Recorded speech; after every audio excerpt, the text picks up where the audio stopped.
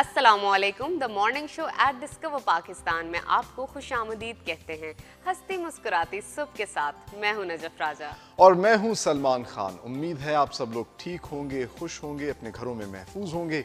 सुबह का आगाज़ कर चुके होंगे और हम आपकी सुबह को मज़ीद खूबसूरत बनाने आ गए क्योंकि हमारे प्रोग्राम में है बहुत सी अहम इंफॉर्मेशन साथ ही साथ आपको पाकिस्तान के खूबसूरत इलाकों की सैर भी हम करवाते हैं। और हम अपने प्रोग्राम का आगाज़ करते हैं एक अच्छी बात से ताकि आपका सारा दिन अच्छा गुजरे, वो अच्छी बात आपके जहन नशीन रहे और आप उसे अपनी लाइफ में इम्प्लीमेंट भी कर सकें। तो आज की अच्छी बात क्या है, नजफ? बिल्कुल सलमान, आज की अच्छी बात जो हम अपने नाजरीन के साथ शेयर करने के लिए जा रहे हैं, वो कुछ इस तरह है। हम देखते हैं हमारे माशरे में हसद का जो मर्ज है, बहुत आम हो चुका है।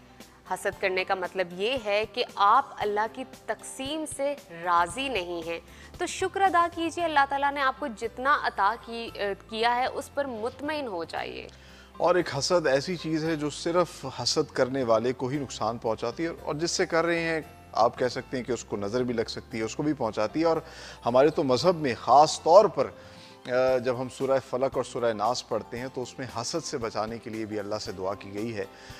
इस्लाम भी हमें यही कहता है कि हसद नहीं करना चाहिए। अगर किसी के पास कोई अच्छी चीज़ है अगर आप चाहते हैं कि आप उस जैसा बने आपके पास वो चीज़ हो तो रश करें और उसके लिए कोशिश करें। मेहनत करें। मेहनत करें दुआ करें अल्लाह से आपको भी वो चीज़ मिल सकती है। हसद नहीं करना। बिल्कुल और इसी अच्छी बात के साथ अपने प्रोग्राम का बकायदा तौर पर आगाज़ करते हैं और आपको बताते हैं कि आज के प्रोग्राम में आपके लिए क्या क्या है। तो आज के प्रोग्राम में सबसे पहले तो हम आपको पाकिस्तान के खूबसूरत से इलाके की सैर करवाएँगे अपने सेगमेंट फैमिली वेकेशन में। और उसके बाद मिलवाएँगे बहुत ही खास मेहमानों से। सेगमेंट होगा हमारा मॉर्निंग गेस्ट फिर उन्हीं गेस्ट के साथ मिलके हम पाकिस्तान की उस जगह को प्रमोट करेंगे जिस जगह की हमने आपको सैर करवाई होगी अपने सेगमेंट ट्रेंडिंग टुडे में। उसके बाद आपकी मुलाकात करवाएँगे। इस एक इंस्पिरेशनल वुमेन से जानेंगी उनकी सक्सेस स्टोरी अपने सेगमेंट इंस्पायरिंग वुमेन में। और फिर आपसे मुतारफ़ करवाएँगे उन लोगों को जिन्होंने अपने प्यारे पाकिस्तान के लिए कुछ अच्छा और अलग और अनोखा काम किया होगा। उनको बोलेंगे थम्स अप और थम्स अप कहने के बाद हम आपको लिए चलेंगे फ़ैशन की दुनिया में। सेगमेंट होगा हमारा फ़ैशन क्रेज साथ ही साथ आपको ये भी बताएँगे कि आपके पसंदीदा ब्रांड्स क्या सेल ऑफ़र कर रहे हैं। हमारा सेगमेंट होगा बैटल ऑफ़ ब्रांड्स उसके बाद हेल्थ के बारे में भी बातचीत करेंगे आपको गाइडलाइन देंगे किस तरह आप अपनी सेहत को इम्प्रूव कर सकते हैं अपने सेगमेंट हेल्थ एंड फिटनेस में। और फिर आपको कुछ इन्फॉर्मेशन देंगे शोबिस इंडस्ट्री की एंटरटेनमेंट इंडस्ट्री की अपने सेगमेंट बिलबोर्ड में। और आखिर में मेरा और नजफ़ का एक पसंदीदा सेगमेंट है, वो है गॉड टैलेंट जिसके अंदर हम आपको एक पाकिस्तान का टैलेंट दिखाते हैं। और पाकिस्तान में तो बेशबहा टैलेंट है, आप कोई भी फ़ील्ड उठा के देख लें, आपको टैलेंटेड लोग नज़र आते हैं। और फिर सबसे आखिर में मैं और नजफ़ एक चैलेंज एक्सेप्ट करते हैं और आप लोगों को चैलेंज देते हैं, ताकि हम अपनी ज़िंदगी में अच्छी आदत अपना सकें और बुरी आदत जो है वो छोड़ सकें। हमारा सेगमेंट होगा टुडेज चैलेंज चलें, चलते हैं अपने फ़र्स्ट सेगमेंट फैमिली वोकेशन की जानब।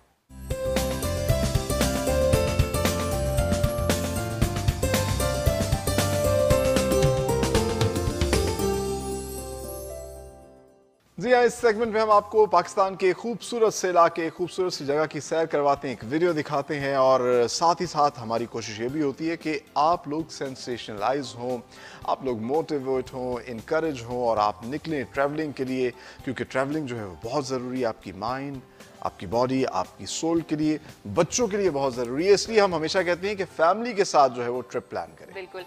और सलमान, आज हम सैर करने के लिए जा रहे हैं तख्ते बाही की। आइए इस पर खूबसूरत सी वीडियो देखते हैं और उसके बाद बातचीत करते हैं।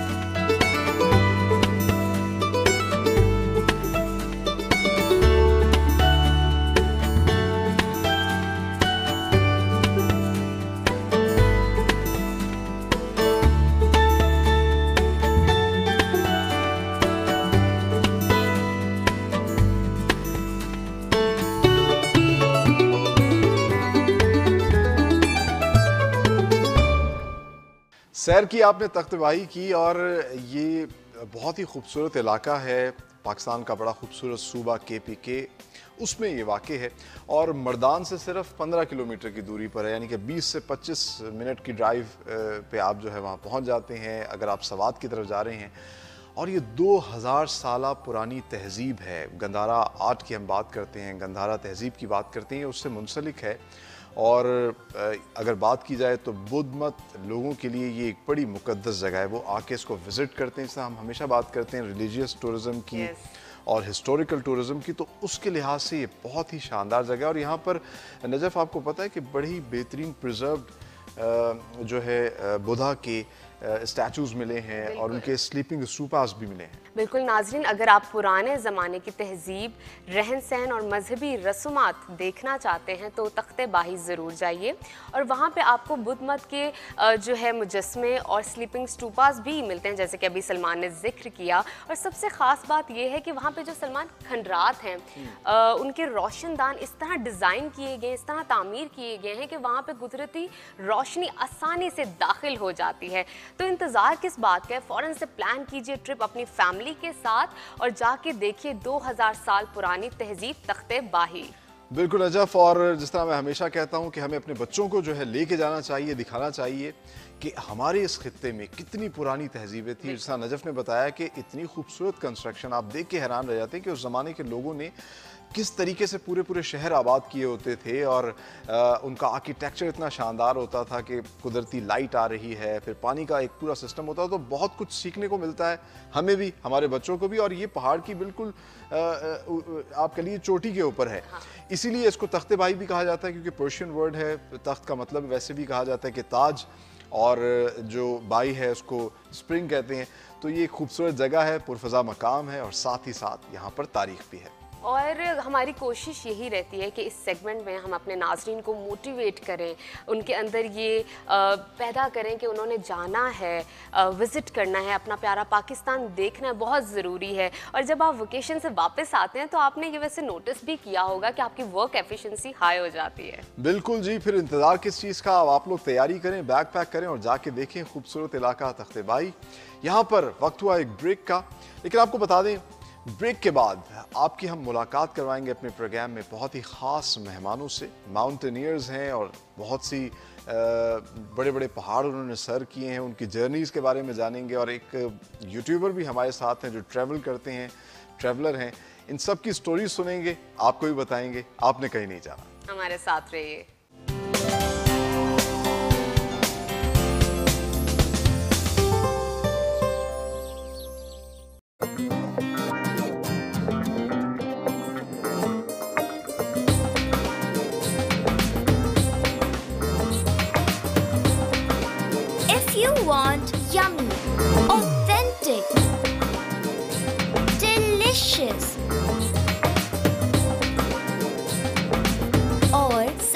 Tareen food it has to be street food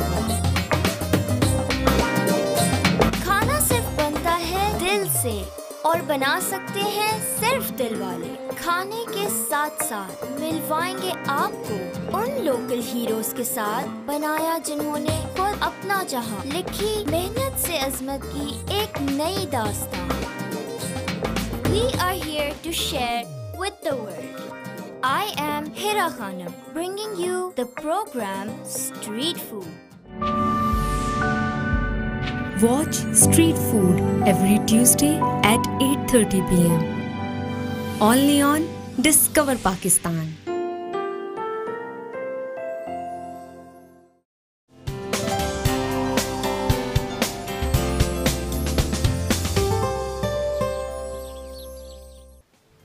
Break से हम वापस आ चुके हैं और आपको खुश कहते हैं। आगे चलते हैं, शामिल करते हैं next segment morning guest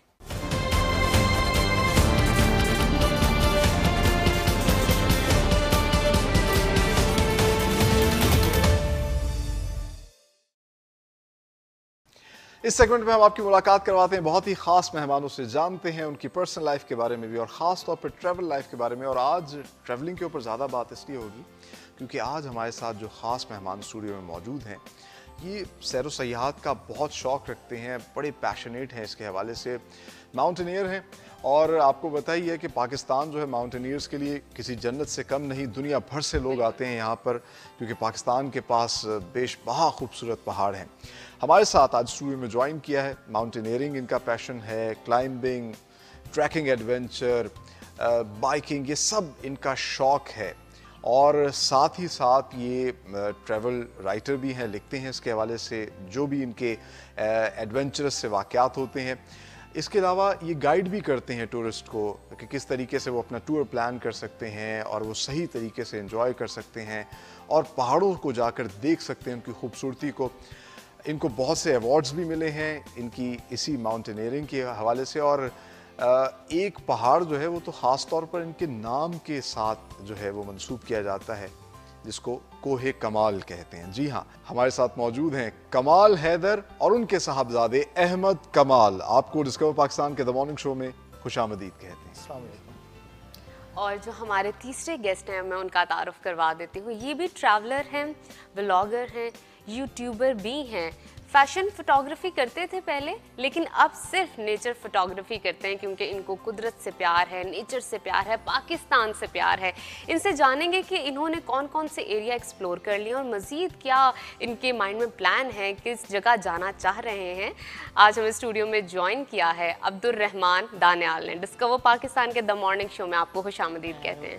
thank you very much और मैं सबसे पहले तो कहना चाहूँगा कि शुक्रिया आप लोगों का कि आपने मुझे मदू किया। और दूसरा ये कि मैं आपको अप्रिशिएट भी करना चाहूँगा कि आप एक वाद चैनल है जो पाकिस्तान को डिस्कवर कर रहा है। और मैं अप्रिशिएट करना चाहूँगा आपकी टीम को आप दोनों को स्पेशली कि आप जो हैं पाकिस्तान को डिस्कवर कर रहे हैं। और स्पेशली बाकी लोग भी करते हैं, लेकिन मैं इसलिए ज़्यादा अप्रिशिएट करना चाह रहा था कि आप लोगों ने जिस तरह पाकिस्तान को डिस्कवर करने का ठाना, एक सॉफ्ट इमेज को बाकी दुनिया के अंदर जिस तरह आपने फैलाने की कोशिश की है और चाहते हैं कि सॉफ्ट इमेज जाए तो उसके लिए काबिल का आपकी जो कोशिशें वो का बिलाशुब आप सही कह रहे हैं काबिल तहसीन है। बहुत शुक्रिया आपके ये काइंड वर्ड्स हमारे लिए बहुत अहम है और वैसे भी हम्म। बड़ी बूस्ट होती है हमारी एनर्जी जब इस तरह की जो है हमें कमेंट्स मिलते हैं। आप सब लोग ही पाकिस्तान को डिस्कवर कर रहे हैं जो सबसे खूबसूरत बात है। तो कमाल साहब कब ये सफ़र शुरू किया और ये कमाल का पाकिस्तान का आइडिया कहाँ से आया? कमाल का पाकिस्तान का आइडिया ऐसे है कि शुरू से जब भी मैं पहाड़ पर जाता था ना तो मेरी कोशिश होती थी कि ये तो मैं देख रहा हूँ। हम्म। तो अब मैं वहाँ जाके तो मैं कैसे दिखाऊँ। मुझे क्या देख के मिलेगा? तो मैंने फिर ना उसको पाकिस्तान की ब्यूटीज़ को ना एल्टीट्यूड ब्यूटीज़ को वो ले कर कैमरे में लेके आने लगा। उसको मैं फेसबुक में चलाता था। फेसबुक में चलाने से ये होता था कि उसमें दीगर तस्वीरें भी आ रही हैं। मैं कहीं खाना खा रहा हूँ, कहीं इवेंट पे गया तो वो भी लग रही है। तो वो काम जो पाकिस्तान दिखाना चाह रहा था, वो नीचे जा रहा था। तो एक तरह का फेसबुक मेरा लारी डब आ चुका था तो फिर मैंने एक आइडिया लिया मैंने कहा नहीं मैं पेज अलग बनाता हूँ जिसमें सिर्फ़ पाकिस्तान दिखा रहा हूँ बाकी सारे मामला जो है वो दूसरे सोशल मीडिया में चलते रहेंगे तो इसलिए मैंने पाकिस्तान कमाल का पाकिस्तान रखा उसमें नाम आ रहा है लेकिन बेसिकली ये कि कमाल एक्सीलेंट पाकिस्तान हम्म। अगर आप उसको इंग्लिश में करें एक्सीलेंट तो कैसे एक्सीलेंट हम्म। मेरी वजह से नहीं है हम्म। जो पाकिस्तान में जो कुदरत ने जो चीज़ें दी उस वजह से कमाल का पाकिस्तान है।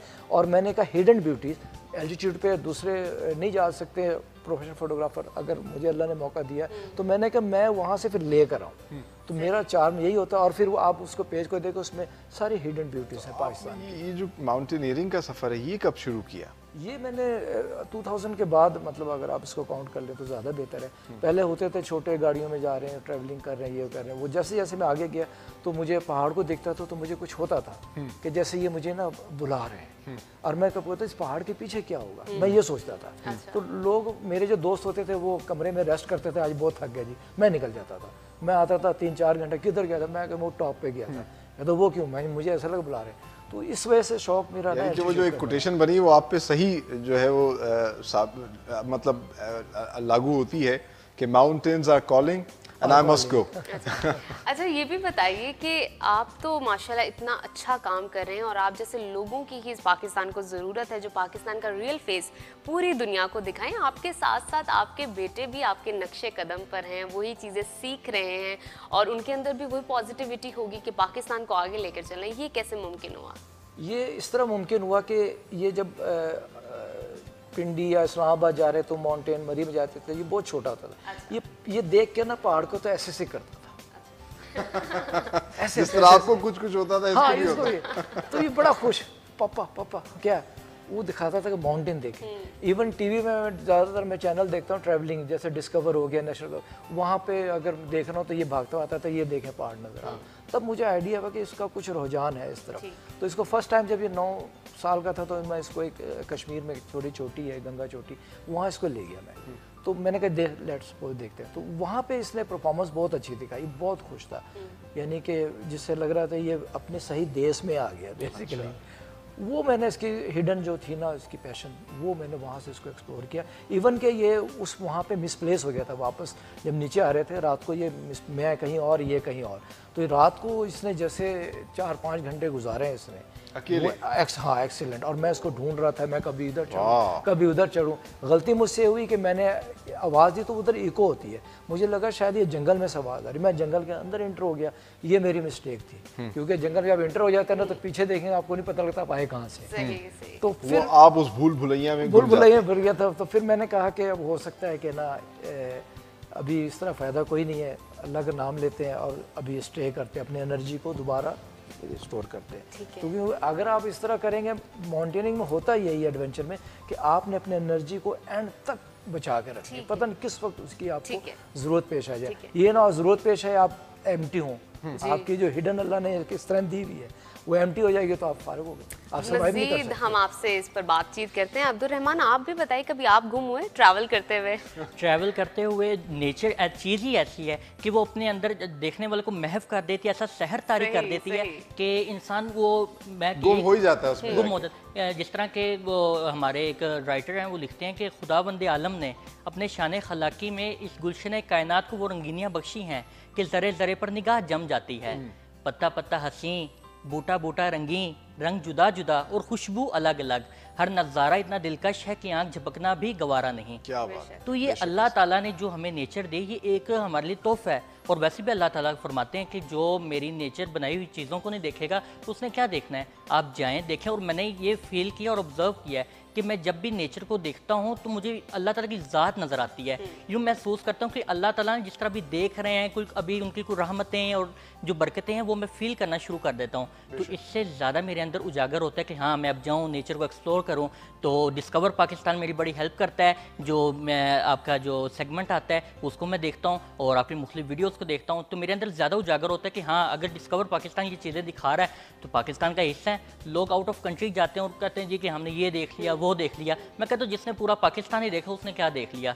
तो मैं इसलिए अब कोशिश कर रहा हूँ कि मैं जाऊँ और जो है दीगर चीज़ों को डिस्कवर करूँ। तो कितने एरियाज़ आपने डिस्कवर कर लिए फ़िलहाल खुद से ट्रैवल किया? जब फ़िलहाल पहले मैंने बेसिक ट्रैवलिंग शुरू की थी मैं सिटी टू सिटी जाता था। अच्छा। उनका कल्चर देखना उनका जो है ज़ुबान को सीखना मुझे बड़ा अच्छा लगता है कि दूसरे वर्ड्स दूसरी लैंग्वेज को सीखा जाए। तो सराइकी बड़ी मीठी ज़ुबान तो मुझे बड़ी तो मैं मुल्तान सिटी ऑफ़ सेंट्स कसूर दीगर इलाकों पर जाता था उनकी चीज़ें उनका कल्चर देखता था ऑब्ज़र्व करता था कि हाँ ये इसके बाद जो है फिर जिस तरह अली सदपारा उनको मैंने देखना शुरू किया उनकी हिस्ट्री पढ़ना शुरू की उनको मैंने फॉलो करना शुरू किया। उसके बाद देखा कि हाँ ये माउंटेनियर जिस तरह जा रहे हैं तो मैं क्यों ना जा सकूँ?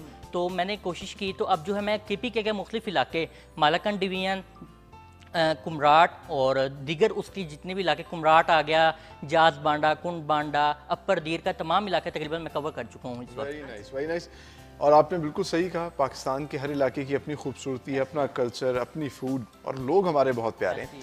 आप देखिए कि हमने सहरा देखना है हमें वीज़ा लेने की ज़रूरत नहीं है हमें दुनिया के खूबसूरत बीच देखनी है गवादर की पूरी पट्टी इतनी खूबसूरत है। हमें वीज़ा लेने की ज़रूरत नहीं है। हमें जून जुलाई की गर्मी में बर्फ़ पोश पहाड़ देखने हैं तो हमें वीज़ा लेने की ज़रूरत नहीं है। रेन फॉरेस्ट देखना है। तो इतनी ज़्यादा खूबसूरती है और बिलाशुबा हम सब कुछ जाना चाहिए और देखना चाहिए। कम है। बिल्कुल ऐसा ही ऐसा लगता है कि एक ज़िंदगी का। मैं डंके की चोट पे कहता हूँ एक ज़िंदगी कम और इसीलिए आपने तो डेडिकेट कर दी अपनी लाइफ जो है इस माउंटेनियरिंग की। अच्छा माउंटेनियरिंग की जो स्पोर्ट्स अगर हम देखें दुनिया भर से सयाह आते हैं ख़ास तौर पे प- पाकिस्तान तो उनके लिए जन्नत है। आते साथ ही स्कर्दू पहुँचते हैं और फिर वहाँ गेटवे है बड़े बड़े पहाड़ों का। तो ये बताइएगा पाकिस्तान में कितना आप इसका रुझान देखते हैं और आ, क्या कहेंगे उन लोगों को जो इस स्पोर्ट्स की तरफ़ आना चाहते हैं? पाकिस्तान में इसका रुझान बहुत ज़्यादा बढ़ रहा है। क्योंकि अब सोशल मीडिया में हर चीज़ हाईलाइट हो रही है। उस हाईलाइट की वजह से अवेयरनेस बढ़ रही है। पहले प्रिंट मीडिया में होता था कि किसी मैगजीन में आ गया वो किसी ने देखा या नहीं देखा पड़ा। लेकिन ये सोशल मीडिया की वजह से ना और जो टीवी चैनल है जैसे आपको डिस्कवर पाकिस्तान स्पेशली देखते हैं। क्योंकि इसमें साद मोहम्मद का भी आया था माउंटेनिंग का।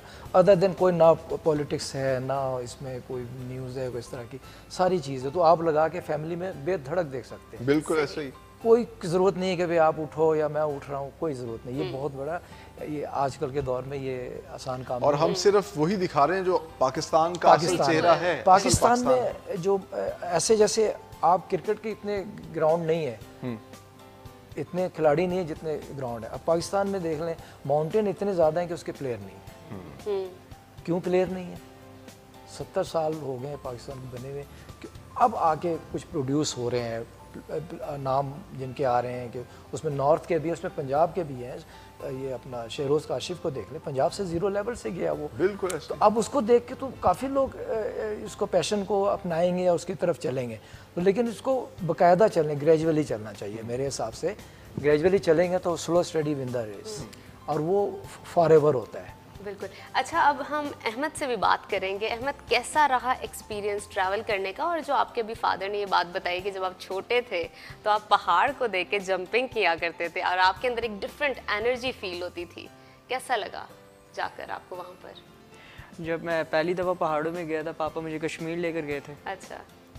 तो फ़र्स्ट टाइम ही जब हम नीचे आ रहे थे टॉप से तो घूम गए आप। मैं घूम ये, गया। ये बताएँ फिर डर लगा था उस टाइम डर लगा था मगर अपने आप पे काबू भी होना चाहिए। अच्छा तो किस तो तरह काबू किस तरह डर पे कैसे काबू पाते हैं?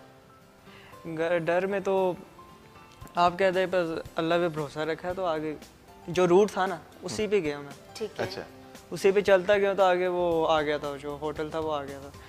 पापा बाद में आए थे पापा मुझे ढूंढ रहे थे। हम्म, अच्छा कमाल साहब ये बताइए कि आपने पहले मतलब जब आप अभी सफ़र पे निकले होंगे तो आपने इसको समझाया होगा ट्रेन किया होगा कि अगर आप गुम जाओ तो ये करना है इस स्टेप पे आपको ये करना है। तो क्या क्या चीज़ें ज़रूरी होती हैं कि पैनिक क्रिएट ना हो ऐसी सिचुएशन पे? जब इसे फ़र्स्ट टाइम लेके गया तो मैंने उसको कोई समझाया क्योंकि मैंने देखना था ऑब्ज़र्व करना अच्छा। था तो पहले और वो ऐसी चीज़ भी नहीं थी कि उसको बाकायदा तौर पर समझाया जाए।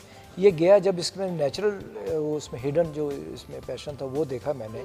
इसके फुट स्टेप देखे कि ये कैसे चल रहा है कैसे चल रहा है। और ये कह रहा है कि पापा कितना दूर रह गया अब कितना चल रहा है? इसने कोई ऐसी बात नहीं की। और ये ऐसे जा रहा था जैसे ये ऑलरेडी देख चुका है या कर चुका है। उसके बाद फिर मैंने थोड़ा सा सीरियस हुआ। कि ये मिस प्लेस हुआ रात के वक्त जंगलों में पहाड़ों पे रोया नहीं डरा नहीं। तो फिर मैंने कहा इसमें वो चीज़ है। तो फिर मैंने इसको इसको ट्रेनिंग शुरू की अपने साथ रखा और इसको मैंने विंटर में उतारा। अच्छा। जब विंटर में उतारने का मकसद ये होता है आप 24 घंटे स्नो में रहते हैं आपने कैसे कुकिंग करनी है आपने कैसे चलना है आपने कैंप कैसे लगाना है स्नो है सॉफ्ट है फोर फाइव फीट डेप्थ है उसको कैसे कंपैक्ट करना है? वरना तो कैंप आपके नीचे जा बैठेगा।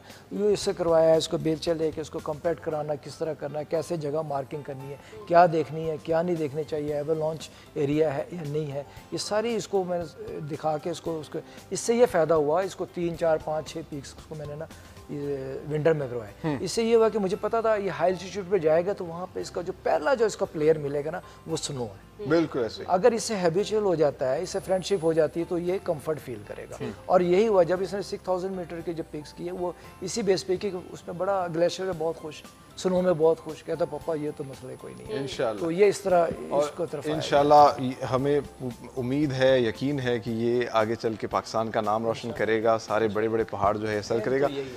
और हम कमाल साहब से ये भी जानेंगे कि किस तरीके से जो है, जिसने उन्होंने बताया कि वो बर्फ़ में रहने का एक पूरा तरीका होता है, ये खाना कैसे बनाते हैं, चाय भी पीते हैं या नहीं पीते और बड़े मज़े मज़े के वाक़यात जो हैं अब्दुलरहमान से भी सुनेंगे कि ट्रैवल के दौरान क्या क्या एक्सप्लोर किया क्या क्या चीज़ें सीखने को मिलती हैं जब आप ट्रैवल करते हैं। लेकिन यहाँ पर नाजिन वक्त हुआ एक ब्रेक का, आपने कहीं नहीं जाना। हमारे साथ रहिए।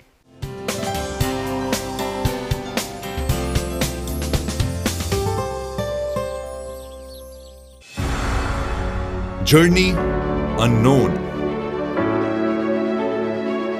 Let's do this!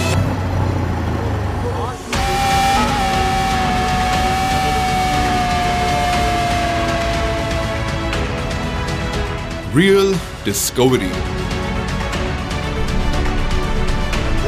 Adventure Plus. I was uh, kind of filming alone. Risk it all! This is it! Fun, chill, thrill, drill और मौज मस्ती के साथ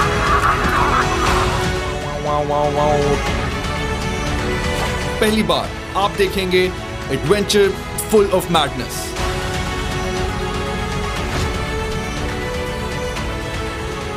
in program Madventure Watch Madventure every Monday at 10 pm. Only on Discover Pakistan.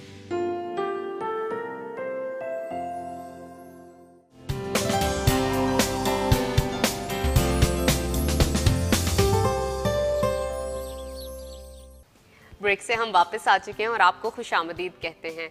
और हमारे साथ इस segment में बहुत ही अमेजिंग गेस्ट मौजूद है। ट्रैवलिंग के बारे में हम इनसे बातचीत कर रहे थे, लेकिन अब हम इनसे एक्सपीरियंसेस जानते हैं, क्योंकि जब आप ट्रैवल करते हैं, आपके साथ बहुत ही मज़ेदार किस्म के एक्सपीरियंसेस होते हैं। बहुत सारी चीज़ें आप सीखते हैं घर से बाहर निकल के। तो सबसे पहले मैं अब्दुलरहमान आपकी जानब आना चाहूँगी। कोई मज़ेदार सा जो एक्सपीरियंस है हमारे नाजरीन के साथ शेयर कीजिए। मज़ेदार एक्सपीरियंस ऐसा है कि अभी मैं गया था कुमराट वैली। तो वहाँ पर क्योंकि कुमराट के बाद जो है जो हम गए थे जास बांडा। तो जास बांडा जो तीन हज़ार तकरीबन तीन हज़ार एक सौ इतनी फीट की बुलंदी पर है। अब जब हम वहाँ पर गए तो काफ़ी ज़्यादा वो था कि एक तो खूबसूरत ऐसे मनाजिर थे कि मैं जब देखता था तो शस्ता रह जाता था कि यार ये क्या कैसे मनाजिर हैं कितने हसीन हैं। तो अब जब हमने रात को असल मज़ा आता है कैंपिंग का। हमने कहा कि कैंपिंग करते हैं। अब जब हमने कैंपिंग की तो हमने कहा चले दोस्त बैठ गए वो अपना जो है वो गपशप लगाते हैं कोई हॉरर स्टोरीज पे। ऐसे ऐसे मौक़ों पे हमें जो है ना वो जिन भूत बड़े याद आते माँ बाप याद हम चाहते हैं कि हाजिर हो जाए कोई यार। हाजिर हो जाए। तो हम वो जो कहते सूरज जिन पढ़ लो जिन्नात आ जाते हैं। हमने हमने कहा चले कोई एक्सपीरियंस करते हैं। तो हम बातें कर रहे थे। इतनी देर में ना पीछे से आवाज़ आ गई। अब हम डर गए। और वाकई डर गए कि हमने कहा कि अच्छा बातें भी ऐसी हो रही थी कि हमने कहा अब हम सारे कहते कुछ नहीं है कुछ नहीं है हम कैंप गए। तो कैंप जाके जब हमने अपना बिस्तर सेट किया और हम जब लेटने लगे तो ना मुझे फील हुआ कि मेरे ब्लैंकेट के अंदर कुछ आ रहा है। तो मैंने साथ वाले दोस्तों कहा मैं कहा यार तंग ना करो मुझे सोना है मैंने। तो उसने कहा यार मैं तो नहीं कुछ कर रहा। जब हमने देखा तो एक स्नेक आ गया था। तो ऐसे मौके पर मैं तो बड़ा हैरान और परेशान था। मैं कहा अब करें तो करें क्या? अब दोस्त कहें कि जनाब तुम इतने वो कहानी सुनाते हो ये करते हो तो अब जो है इसे करो भी जरा एक सांप को मैंने कहानी सुनाओ। तो मैंने कहा अब यहाँ पर कोई नागिन तो है नहीं जो इसको कर ले। मैं कहा ऐसी नागिन तो है नहीं मेरे पास कि जो और ना तो अब मैंने कहा करें तो करें क्या? अब दूसरे दोस्त ने कहा कि हम ऐसा करते हैं कि कैंप से हम निकलते हैं। अब वो सारी रात जो हमने कैंप गए नहीं और बाहर ठंड के अंदर जो ठिठरती रात जो गुजारी हमने खुले आसमान तले। तो ये एक छोटा सा था और इस तरह के बड़े ज़्यादा एक्सपीरियंस होते हैं आपके साथ क्योंकि जब हम वहाँ पर जाते तो कोई ऐसी बाउंड्री तो होती नहीं है। तो दूसरे भी जानवर वगैरह उनके घर में तो हम जाके बसेरा कर रहे होते हैं तो उनको अपनी एक चाहिए होती है। तो इस तरह ये, करके ये जो ये जो थोड़ी सी दुश्वारियाँ या मुश्किलात आ रही होती हैं यही फिर आपको सारी ज़िंदगी याद रहती हैं एग्जैक्टली क्योंकि हम यहाँ पर तो हमें घर जाते हैं बना बनाया खाना मिल जाता है। ही वहाँ जब आप खुद लकड़ियाँ जला के चाय बनाएँ तो उसका मज़ा भी अलग होता है। ऐसे ही होता है और चाय जब जलती है और उसके बाद वो जली हुई चाय पीते हैं ना तो फिर मामा के हाथ की चाय याद आ रही है तो फिर कहते हैं कि घर में जो हम नहीं ना पी रहे होते हैं और कह रहे होते हैं आप ऐसे नहीं बनाती वैसे नहीं बनाते। फिर याद आता है वो सारी हाँ एग्जैक्टली इसलिए कहते हैं जब आप ट्रैवलिंग पे निकलते हैं जब वापस आते हैं आप बड़े शुक्रगुजार हो जाते हैं आप अपनी लाइफ में जो है ना अच्छे तरीके से फिर उसको वो कर सकते हैं। अच्छा इन्होंने जैसा बात की कि जाए गए हम और हमने हॉरर स्टोरी सुनाई और कोशिश ये होती अच्छा दियो मालाई कहानियाँ जो है वो आमतौर पर पहाड़ों के साथ बड़ी मंसूब की जाती हैं। तो आपका भी कोई एक्सपीरियंस हुआ? नहीं एक्सपीरियंस तो बहुत है कि वहाँ पे हाई एल्टीट्यूड पे क्या होता है माउंटेन पे देखिए इनका मस्कन है ना कुरान में भी इनका ज़िक्र है। हम इससे इनकार तो नहीं कर सकते। विल्डरनेस में इन्होंने रहना है। हम इनके असल में इनके देश में हम चले जाते हैं। ठीक है ना? वो भी अल्लाह के मखलूक है हम भी अल्लाह के मखलूक है और ऐसा एक्सपीरियंस हुआ है। ये नहीं कहते कि नहीं हुआ। क्योंकि गोरा भी जब पहाड़ों पे जाता है ना तो वो भी मजहबी हो जाता है। अच्छा। वो भी मान लेता है कोई चीज़ है यहाँ पे वो कुदरत है। फिर वो अपनी सोसाइटी पे जाता है फिर वो उसी का हिस्सा बन जाता है। लेकिन वहाँ पे वो मान लेता है कि ये कोई कुदरत कोई ताकत है। हाँ। तो वो भी मजहबी हो चुका होता है। मैं एक बर्तन पास पे एक्सपीडिशन पे था भटूरा ग्लेशियर पे। तो वहाँ पे मौसम बेड वेदर आ गया। तो वो वीकेंड पे था। तो वहाँ के जो लोकल जो लोग हैं ना उनकी ये है स्टोरी कि अगर वीकेंड पे बैड वेदर आ जाए तो ये अगले वीकेंड तक ये रहता है। अच्छा। तो उन्होंने कहा कि जी अब आगे जाना ठीक नहीं होगा हम यहाँ से वापस जाएँगे। मैंने कहा आपका भी अल्लाह वही है हमारा भी अल्लाह वही है देखते हैं एप्लीकेशन जाना तो अभी जाना एप्लीकेशन डालते हैं। नहीं हम ऑन द वे थे वो वापस आना चाह रहे थे हम हाफ़ वे चले गए थे। तो मैंने कहा आप मुझे काला बकरा ला के दो कि वो तो नीचे नाले पे मिलेगा। मैं कहा चले आप लेकर आए। इतने पैसे में कोई बात नहीं वो गए बारिश में सख्त वो पाँच छः घंटे के बाद ना वो बकरा ले आए। मैंने अपने साथियों को इस पर हाथ रखो। उन्होंने हाथ रखा मैंने अल्लाह से दुआ की मैंने कब दुआ करते ये अल्लाह ताला ये तेरी राह में हमारी तरफ़ से सदका है। सुबह तो अब अब ये भी सही कह रहे हैं हम नहीं कह रहे हैं कि ये गलत है। आई एप्लीकेशन डाल दी देखें।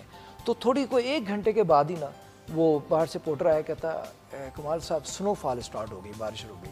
मैंने कहा गुड हो गया मौसम क्लियर हो गया।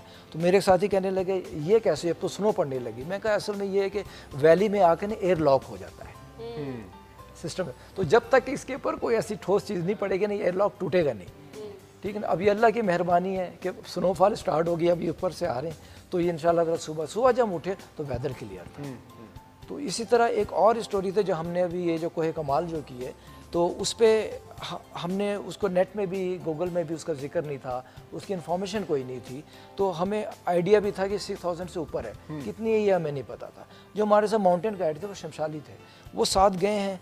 और हमने बेस कैंप से आगे जो है ना खुद ही वो शमशाली थे और हम थे समझ लें मेंबर थे। हमने सारा सामान डिस्ट्रीब्यूट के जो पोर्टर थे लोअर स्टेशन वो ऑलरेडी हम बेस कैंप पर छोड़ के चले गए थे। अब वहाँ से हम कैंप टू कैंप सामान आगे करते रहे। तो हमें रूट का भी नहीं पता था। हमने खैर वो रूट फाइंड करके और उसको हमने पीक को किया जब वापस आए तो शमशाली ने कहा कि ये तो अनक्लाइब है इसका नाम रखते हैं कोई। तो मैंने मुझसे पूछा मैंने कहा इसका नाम एक्सप्लोर पीक रख देते हैं। तो उन्होंने कमाल भाई हमने कुछ और सोचा हुआ हमने कहा जी इसका नाम ना हम कोहे कमाल हैं। अरे क्योंकि उसके साथ इसके साथ एक और पीक है कोहे गुलस्तान है। तो कोहे कमाल।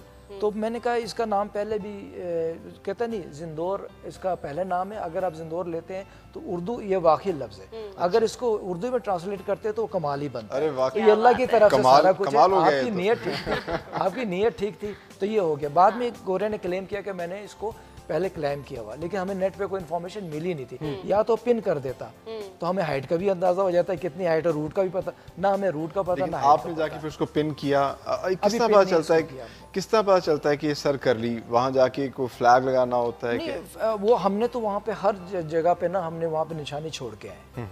जो गोरे ने क्लेम किया उसकी कोई निशानी हमें रास्ते में नहीं मिली। हमारी हर चीज़ डॉक्यूमेंटेड है। वो हर चीज़ डॉक्यूमेंटेड है कि हमने सी वन पे क्या छोड़ा सी टू पे और इवन के हमने समिट पे क्या छोड़ा। अच्छा very nice. वो सारी चीज़ें वहाँ पे डम करके आए हैं। ठीक अच्छा एक तो जिस तरह अब्दुल रहमान ने भी बताया कि सांप आ गया इनके कैंप के अंदर तो वाइल्ड लाइफ जो है पाकिस्तान में कहा जाता है कि बहुत से कुछ ऐसे जानवर हैं जो मखसूस इन इलाकों के होते हैं। मैं विंटर में कर रहा था रत्ती गली नारायण से रत्ती गली कश्मीर में जाना चाह रहा था। तो जब मैं बुड़वाई से आगे निकला तो ग्लेशियर स्टार्ट हो चुका था क्योंकि वहाँ पे ग्लेशियर बन जाता है विंटर में। तो जब मैं पास के करीब पहुँचा रत्ती गली पास के तो दो स्नो लेपर्ड दो सौ लेपर्ड दो दो टू। देवर कपल एक्चुअली वो क्रॉस कर रहे थे। वहाँ से उतर के ऐसे कोल बनता है और ऐसे उन्होंने जाना था। मैंने कहा ये कोल कर रहे हैं मैं फ़ौरन जो है ना अपने साथी का लेट जाओ नीचे। तो हम स्नो पे ग्लेशियर पे लेट गए। तो लेटने की वजह से वो हमें नहीं देख सका लेकिन हम उसको वाजह तौर पे देख रहे हैं। उसने ऐसे ही क्रॉस किया और दोबारा वो ऊपर चढ़ के तो दूसरी तरफ़ वो चला और ये बड़े नायाब हैं नायाब है स्नो लेपर्ड। बाकी हम आई बैग्स मार्कोर तो बहुत काफ़ी दफ़ा हमने देखे हैं। उनको तो ऐसी कोई बात नहीं है लेकिन इसका मतलब ये है कि वाइल्ड लाइफ को अगर आप छेड़े नहीं नो नो नहीं तो ये आपको कुछ नहीं कहता। हाँ एक दफ़ा इसी तरह हम मलका पर्वत इसके लिए हम गए थे सरन पीक के लिए सर्दी में थे विंटर में थे तो वहाँ पे हमने ये देखा कि एक जगह हमने कैंप लगाया तो भेड़िया आ गए। ऊपर खड़े हैं। मैंने कहा ये तो इनकी जगह भी नहीं लग रही है कि हमने ऑक्यूपाइड किया है। ये क्यों यहाँ पे खड़े बार बार? तो हमने वहाँ पे शोर मचाया। ठीक है उसके बाद हमने फायर आग आग जला लिया जिसकी वजह से कुछ ऊपर वो चले गए लेकिन जा नहीं रहे थे।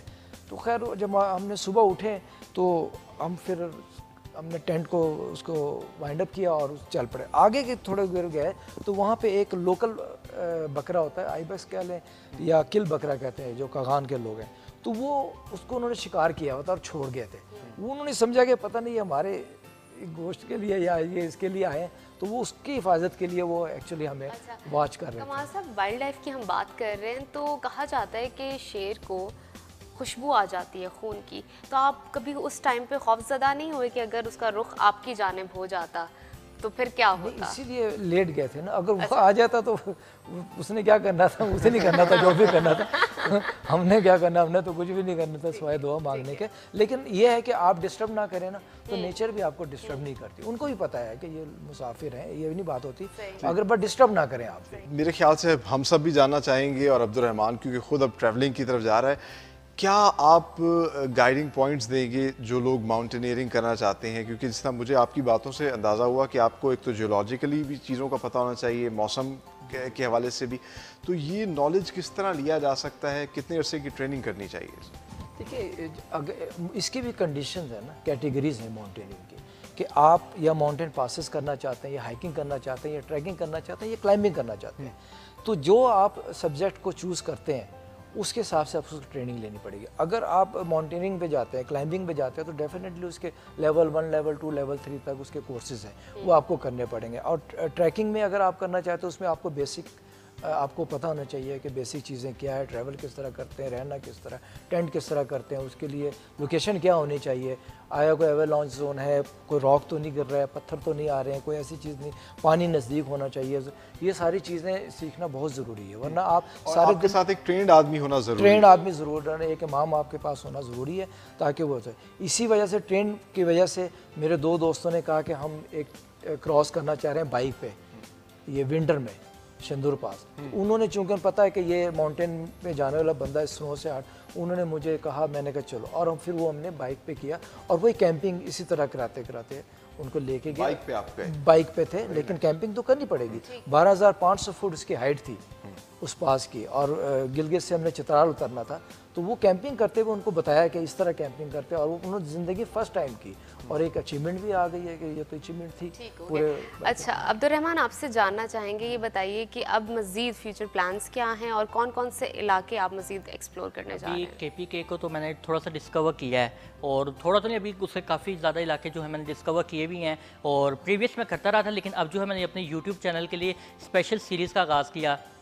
तो अभी जो है जिस तरह मैं कुमराट यानी कि अपर दीर के इलाका मैं सारा विज़िट करके आया हूँ हम्म, हम्म। अब मैं चाह रहा हूँ कि गिलगित बल्तिस्तान की तरफ़ में जाया जाए क्योंकि आजकल जो है ना काफ़ी ज़्यादा उसको प्रमोट किया जा रहा है उसको कि जिस तरह वो स्कर्दू हम्म। उसका क्रिकेट ग्राउंड कितना खूबसूरत बनाया कि अब सुनने में भी आ रहा है कि आईसीसी अपना जो है वो वर्ल्ड कप जो है शायद उसके अंदर ऑर्गेनाइज करे भी तो वो मैं चाह रहा हूँ कि वो तमाम इलाकों को मैं डिस्कवर करके आऊँ क्योंकि मैं ये चाहता हूँ कि नेचर को जितना आप क्योंकि नेचर अगर हमें दे रही है चाहे वो फ्रूट्स की शक्ल में वेजिटेबल टेबल्स की शक्ल में हमें सीनरी की फॉर्म में दे रही है तो हम भी चाहते हैं कि उसको जाके एक्सप्लोर करें देखें कि वहाँ पर किस तरह से जो है वहाँ पर लोग खासतौर पर अच्छा इसके अंदर मेरा दूसरा मकसद ये है कि मैं कल्चर को देखूँ। कि वहाँ के लोगों का कल्चर क्या है? Exactly. हम तो यहाँ पर पंजाब पंजाबी हैं ये हैं लस्सी पी रहे हैं ये पी तो वहाँ के लोग किस तरह हम तो यहाँ पर अभी अल्लाह ताला ने हमें तो यहाँ पर जो है प्लेन ज़मीन दी हुई है जिस पे हम रह रहे हैं लेकिन वहाँ पर जो लोग पहाड़ों पर रह रहे हैं तो वो किस तरह लाइफ गुजार रहे हैं? अभी क्योंकि यहाँ पर मैं देख के आया हूँ तो काफ़ी जो है ना ज़िंदगी दुशवार है। मैं ये देख के आया हूँ बल्कि मैं गवर्नमेंट से भी अपील करता हूँ कि अब देखें कि जो कुमराट है वो थल से तकरीबन ढाई घंटे की मुसाफत पर है। अब वहाँ से बच्चे जो हैं, वो थल आते हैं पढ़ने के लिए। तो मुझे ये देख के बहुत तकलीफ़ हुई। हम जाते हैं दो से तीन किलोमीटर बाद, बीस किलोमीटर बाद, जहाँ भी है स्कूलिंग हमारी हो रही है कॉलेज नई यूनिवर्सिटी तो वहाँ के बच्चों को भी तालीम देनी चाहिए। तो एजुकेशन का काफ़ी ज़्यादा वहाँ पर इशू देखा है। तो मैंने उसको काफ़ी ज़्यादा जो है वो लोगों की नज़र में लाने की कोशिश भी की है। तो मैं चाहता हूँ डिस्कवर पाकिस्तान भी कहे कि एजुकेशन को प्रमोट किया जाए इलाकों पर भी। बिल्कुल आप सही कह रहे हैं और हम भी बार बार इस हवाले से बात करते रहते हैं और आपने एक अच्छा पॉइंट दिया क्योंकि देखिए लूप होल्स कहीं ना कहीं रह जाते हैं तो सजेशन देनी चाहिए ताकि गवर्नमेंट जहाँ टूरिज़म पे इतना काम कर रही है उसका फोकस है कि हेल्थ और एजुकेशन जो है वो भी बेहतर हो। तो इन चीज़ों पर साथ के साथ जो है वो काम हो। और जिस तरह के हम सब लोग यहाँ पर हम ख्याल हैं और हमारी कोशिश और ख्वाहिश यही है कि पाकिस्तान की खूबसूरती दुनिया के सामने लाई जाए। तो हमने एक सेगमेंट कंस्ट्रक्ट किया जिसमें आप भी हमारा साथ दे सकते हैं। तो अब बढ़ते हैं उस सेगमेंट की जानब हम्म। जो है ट्रेंडिंग टुडे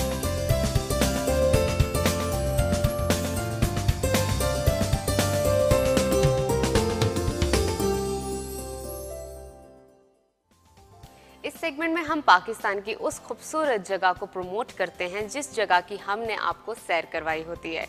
तो आज हमने सैर की है तख्ते बाही की। आपने ज़्यादा कुछ नहीं करना, बस अपना सेल फ़ोन उठाना है। और तख्ते बाही की कोई भी पिक्चर लीजिए, उसको अपने फेसबुक और इंस्टा पर पोस्ट करें और आप अपने ट्विटर अकाउंट से ट्वीट भी कर सकते हैं। लेकिन डिस्कवर पाकिस्तान टीवी को टैग करना बिल्कुल नहीं भूलना। आपने हमारे साथ कनेक्ट करना है। हमने पूरी दुनिया को दिखाना है कि पाकिस्तान बहुत खूबसूरत है। पाकिस्तान का रियल फेस सामने लेकर आना है। और इसमें कुछ ज़्यादा टाइम नहीं लगेगा। It's just a 15 second act of kindness which can create many jobs opportunities and definitely country revenue. Exactly exactly, जितनी देर में नजफ ने बात की मैंने ट्विटर फेसबुक और अपने इंस्टा के ऊपर जो है ये जो आज हमने आपको इलाके की सैर करवाई इसकी पिक्चर्स भी शेयर की और कोशिश की है अपनी हद तक कि हम प्रमोट करें। इतनी ही देर लगती है। हम सबने मिलकर जो है अपने ट्विटर हैंडल्स के ऊपर इसको ट्रेंड बनाने की भी कोशिश की।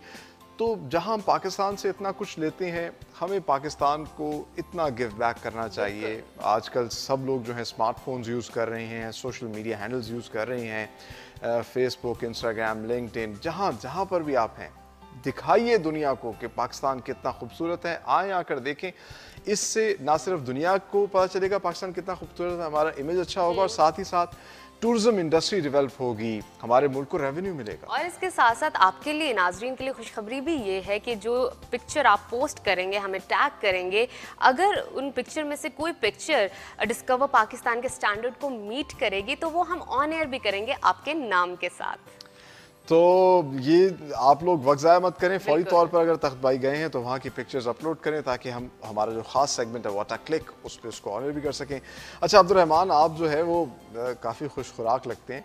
तो ये बताइए कि ट्रैवलिंग के दौरान जो है क्या क्या मज़े की चीज़ें खाई? कौन कौन सी सौगात? पाकिस्तान के हर इलाके की अपनी सौगात है। तो क्या डिस्कवर किया फ़ूड तो पंजाब में है तो हर खाना हमारा जो होता है वो भरपूर होता है। तो हमारा तो जब तक वो कहते हैं रोटी ना ना हो तो हमारी जो है वो खुराक पूरी नहीं होती। चाहे राइस भी खा लेना कहते हैं रोटी की अब जो गुंजाइश बाकी है। अच्छा। तो वो सर हम होती है। तो अब जब हम जब गए गिलगित बल्तिस्तान गिलगित बल्तिस्तान कह रहा हूँ खैबर पख्तूनख्वा तो वहाँ पर जाके हमें खुराक का थोड़ा सा अंदाज़ा हुआ कि यहाँ पर बहुत मुश्किल है। क्योंकि जो सी लेवल से काफ़ी ऊंचाई पर हम थे तो काफ़ी ज़्यादा मुश्किल हैं तो हमने सोचा कि खुद ही बनाते हैं हम्म। तो वहाँ पर जाके ना आपको खुद ही बनाना पड़ता है बेसिकली वहाँ पर कोई इस तरह के आपको होटल या रेस्टोरेंट्स नहीं मिलते तो हमें वहाँ पर बस खाने की ये दुशारी आई बाकी वहाँ के जो खाने जो मैं चेक कर जो चख सका या जो वहाँ के एक्सप्लोर कर सका वो यही था कि वहाँ के लोग जो हैं वो सादा सादा खुराक खाते हैं अच्छा। ज़्यादा स्पाइसी नहीं खाते हम्म। तो बाकी उनके अंदर जो स्वीट लेकिन उसका अपना एक जायका होता है। बिल्कुल और आप देखिए कि अब तो जो केपीके का फ़ूड है वो पूरे पाकिस्तान क्या पूरी दुनिया में मशहूर होता जा रहा है। ऐसी है। हर जगह। ऐसी है। तो अभी दरअसल मैं गया था ट्रैकिंग करने के लिए। तो ट्रैक करते वक्त तो हमें जगह जगह जहाँ जहाँ हमने स्टे किया तो वहाँ पर हमने कुछ जो इलाके हैं ये देही इलाके जो थे जिसमें कोई आठ से दस घर बने होते हैं तो वो छोटा सा इलाका कह देते हैं गाँव कह देते हैं। तो उस गाँव के लोग इतने ज़्यादा वो थे मेहमान नवाज़ वो वो जहाँ भी जाना तो चाहे हमें तो फ्री अरे चाय तो पिए ना आप ज़रा। आप हमें कैफा कै बार ट्राई करें तो वहाँ पर जब हमने खाने उनका फिर हमने कहा कि आप खाने में क्या खाते हैं तो वहाँ पर ना मैंने देखा कि रोटी जो है थोड़ी सी मोटी और वो दरअसल बनाते दूध से और थोड़ा सा आटा। उसका मिक्स यानी पानी का इस्तेमाल नहीं करते उसमें। और अगर आप वो अकेली रोटी भी खाएँ तो वो इतनी मज़ेदार है कि आपको फिर सालन की गुंजाइश नहीं रहती। वाह वाह वाह यानी कि आप आप अगर ट्रैवलिंग के लिए जाएँगे तो आप सुन सकते हैं कितने मज़े होते हैं कितनी आपकी मौज हो जाती है। अच्छा कमाल साहब आप लोग जब जाते हैं तो क्या कोई ख़ास स्पेसिफिक डाइट होती है या आप भी हर तरह की सौगात इंजॉय करते हुए जाते फ़ूड तो आम वही हमारे साथ होते हैं एक कुक भी होता हमारे। हाँ। लेकिन जैसे एल्टीट्यूड बढ़ता है तो वो फ़ूड भी उसकी कैटेगरी चेंज हो रही होती है। ठीक है। जैसे हाई एल्टीट्यूड पे जाते हैं तो हम बहुत सॉफ्ट फ़ूड पे आ जाते हैं उसमें चिकनाई वाली चीज़ें हटा देते हैं। ठीक है। उस चिकनाई वाली कोई चीज़ इस्तेमाल नहीं करते और रेडी टू ईट होता है। चॉकलेट्स हो गए हैं कोई इस तरह की नट्स वगैरह इमीडिएट हाँ इमीडिएट जो एनर्जी आप ले सकते हैं वो हम्म। चीज़ जिनका वेट कम हो जो हाई ऑक्सीजन थिन एयर होती है चूँकि वो वहाँ पे प्रॉपर आपको फायर नहीं आपको वो हीट देता। अच्छा कई कई दिन आपको एक पहाड़ समिट करने में लग जाते हैं तो फिर वो रूटीन जो खाने की हम तो करते हैं नाश्ता दोपहर का खाना रात का खाना आपके क्या डाइट रूटीन्स होती हैं फिर ये सुबह जो ब्रेकफास्ट वो तो होता है हमारा प्रॉपर लेकिन डे में हमारा लंच नहीं होता। हम्म। उसमें कोई कोई फास्ट फ़ूड जैसी चीज़ आ जाती है कोई लाइट चीज़ वेट ले लेते हैं।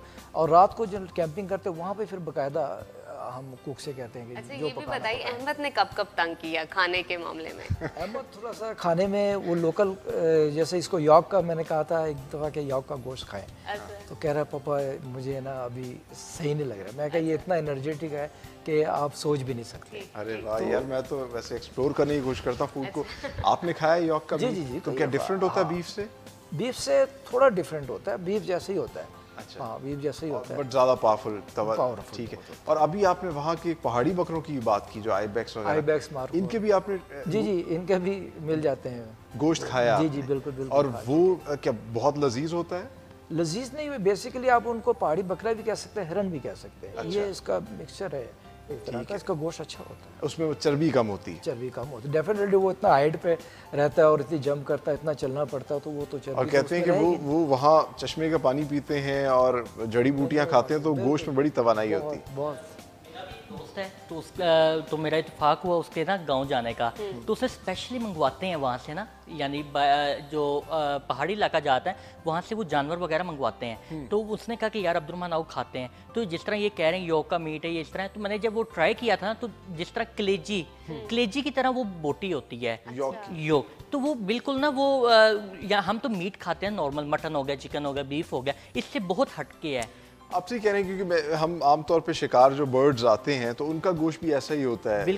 आपके मुर्गाबी का या इसका जो खासतौर पर पानी के परिंदे होते हैं तो उनका गोश्त भी बिल्कुल कलेजी जैसा लेकिन जायका उसका होता ये होता है कि आपने जरा एहतियात के साथ जरा दो चार बस वो पीस आपने लेने खुद भी देखना है कि आप डाइजेस्ट कर पा भी रहे हैं या नहीं। क्योंकि हाँ। बहुत ज़्यादा प्रोटीन होता है और काफ़ी ज़्यादा वो जो है वो एनर्जी एनर्जी भी आती है। प्रोटीन का जो मैार है या उसका मकदार है वो बहुत ज़्यादा होती है। हमारे खानों में तो जब हम रोटी खा रहे होते हैं तो उसमें क्रिच क्रिच की आवाज़ें आ रही थी क्योंकि वो पानी जो उसने कुक ने इस्तेमाल किया तो सारा उसमें रेत होता है उसमें अच्छा। चीज़ होती है वहाँ तो और कुछ मिल नहीं तो लेकिन हम उसको बिल्कुल तो इस, इस बर्फ़ के ऊपर जो है फिर किस तरीके से मतलब पानी पीना भी होगा तो पहले जहन बनाना है कि जी इसको जहन बनाना तो उसमें मेल्ट करते हैं हम। अब ज़्यादा एल्टीट्यूड पे तो ये एलपीजी गैस काम नहीं करती फिर वहाँ ब्यूटेन गैस चलती है। अच्छा। हाँ वो वो आप चाहे स्नो के अंदर भी उसको रख दें कॉटरेज होती है पोर्टेड होता है उसको रख दें उसने फिर भी फ्लेम देना है। तो वो हमारे इमरजेंसी में जो क्लाइम कर रहे होते हैं या ऊपर हाइट जो है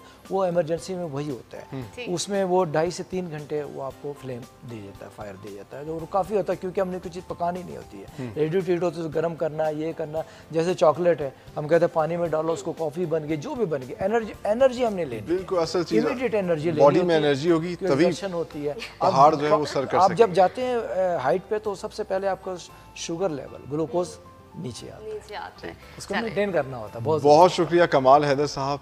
अहमद कमाल आपका आप दोनों आए और बहुत से लोगों को सेंसेशनलाइज किया आपने। Thank you so much Abdul Rahman बड़ा अच्छा लगा आपसे बात मुझे करके। बड़ा अच्छा लगा हाँ। और जो है डिस्कवर पाकिस्तान का शुक्रिया उन्होंने मदू किया और जिस तरह वो नेचर को पाकिस्तान की इस सॉफ्ट इमेज को जिस तरह वो दिखा रहे हैं और बयान कर रहे हैं मैं चाहता हूँ कि आप इसी तरह करते रहें और पूरे पाकिस्तान का जो है और जाते जाते एक शेर अगर मिर्ज़ा गालिब का हो जाए तो नक्श फरियादी है किसकी शौक़ी तहरीर का?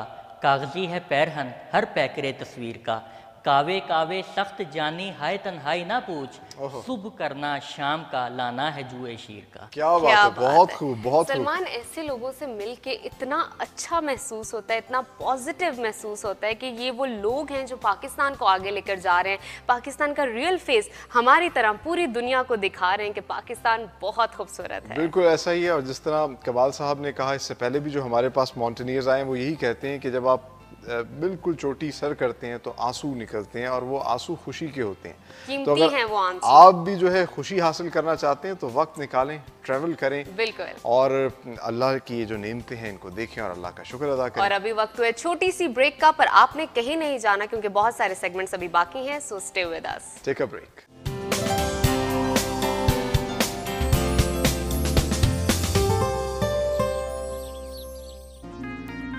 ये bike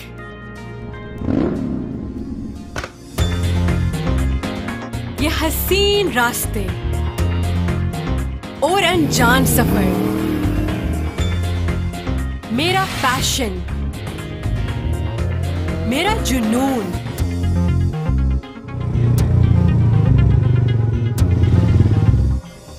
The world knows me as the motorcycle girl. Now is the time to take this passion on a new ride.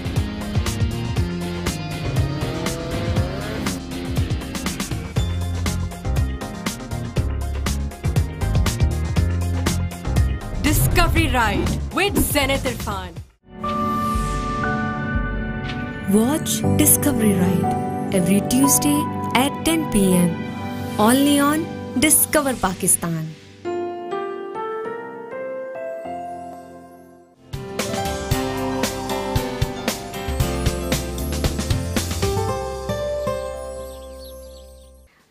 वापस आ चुके हैं और आपको खुश कहते हैं। आगे चलते हैं, शामिल करते हैं नेक्स्ट सेगमेंट इंस्पायरिंग वुमेन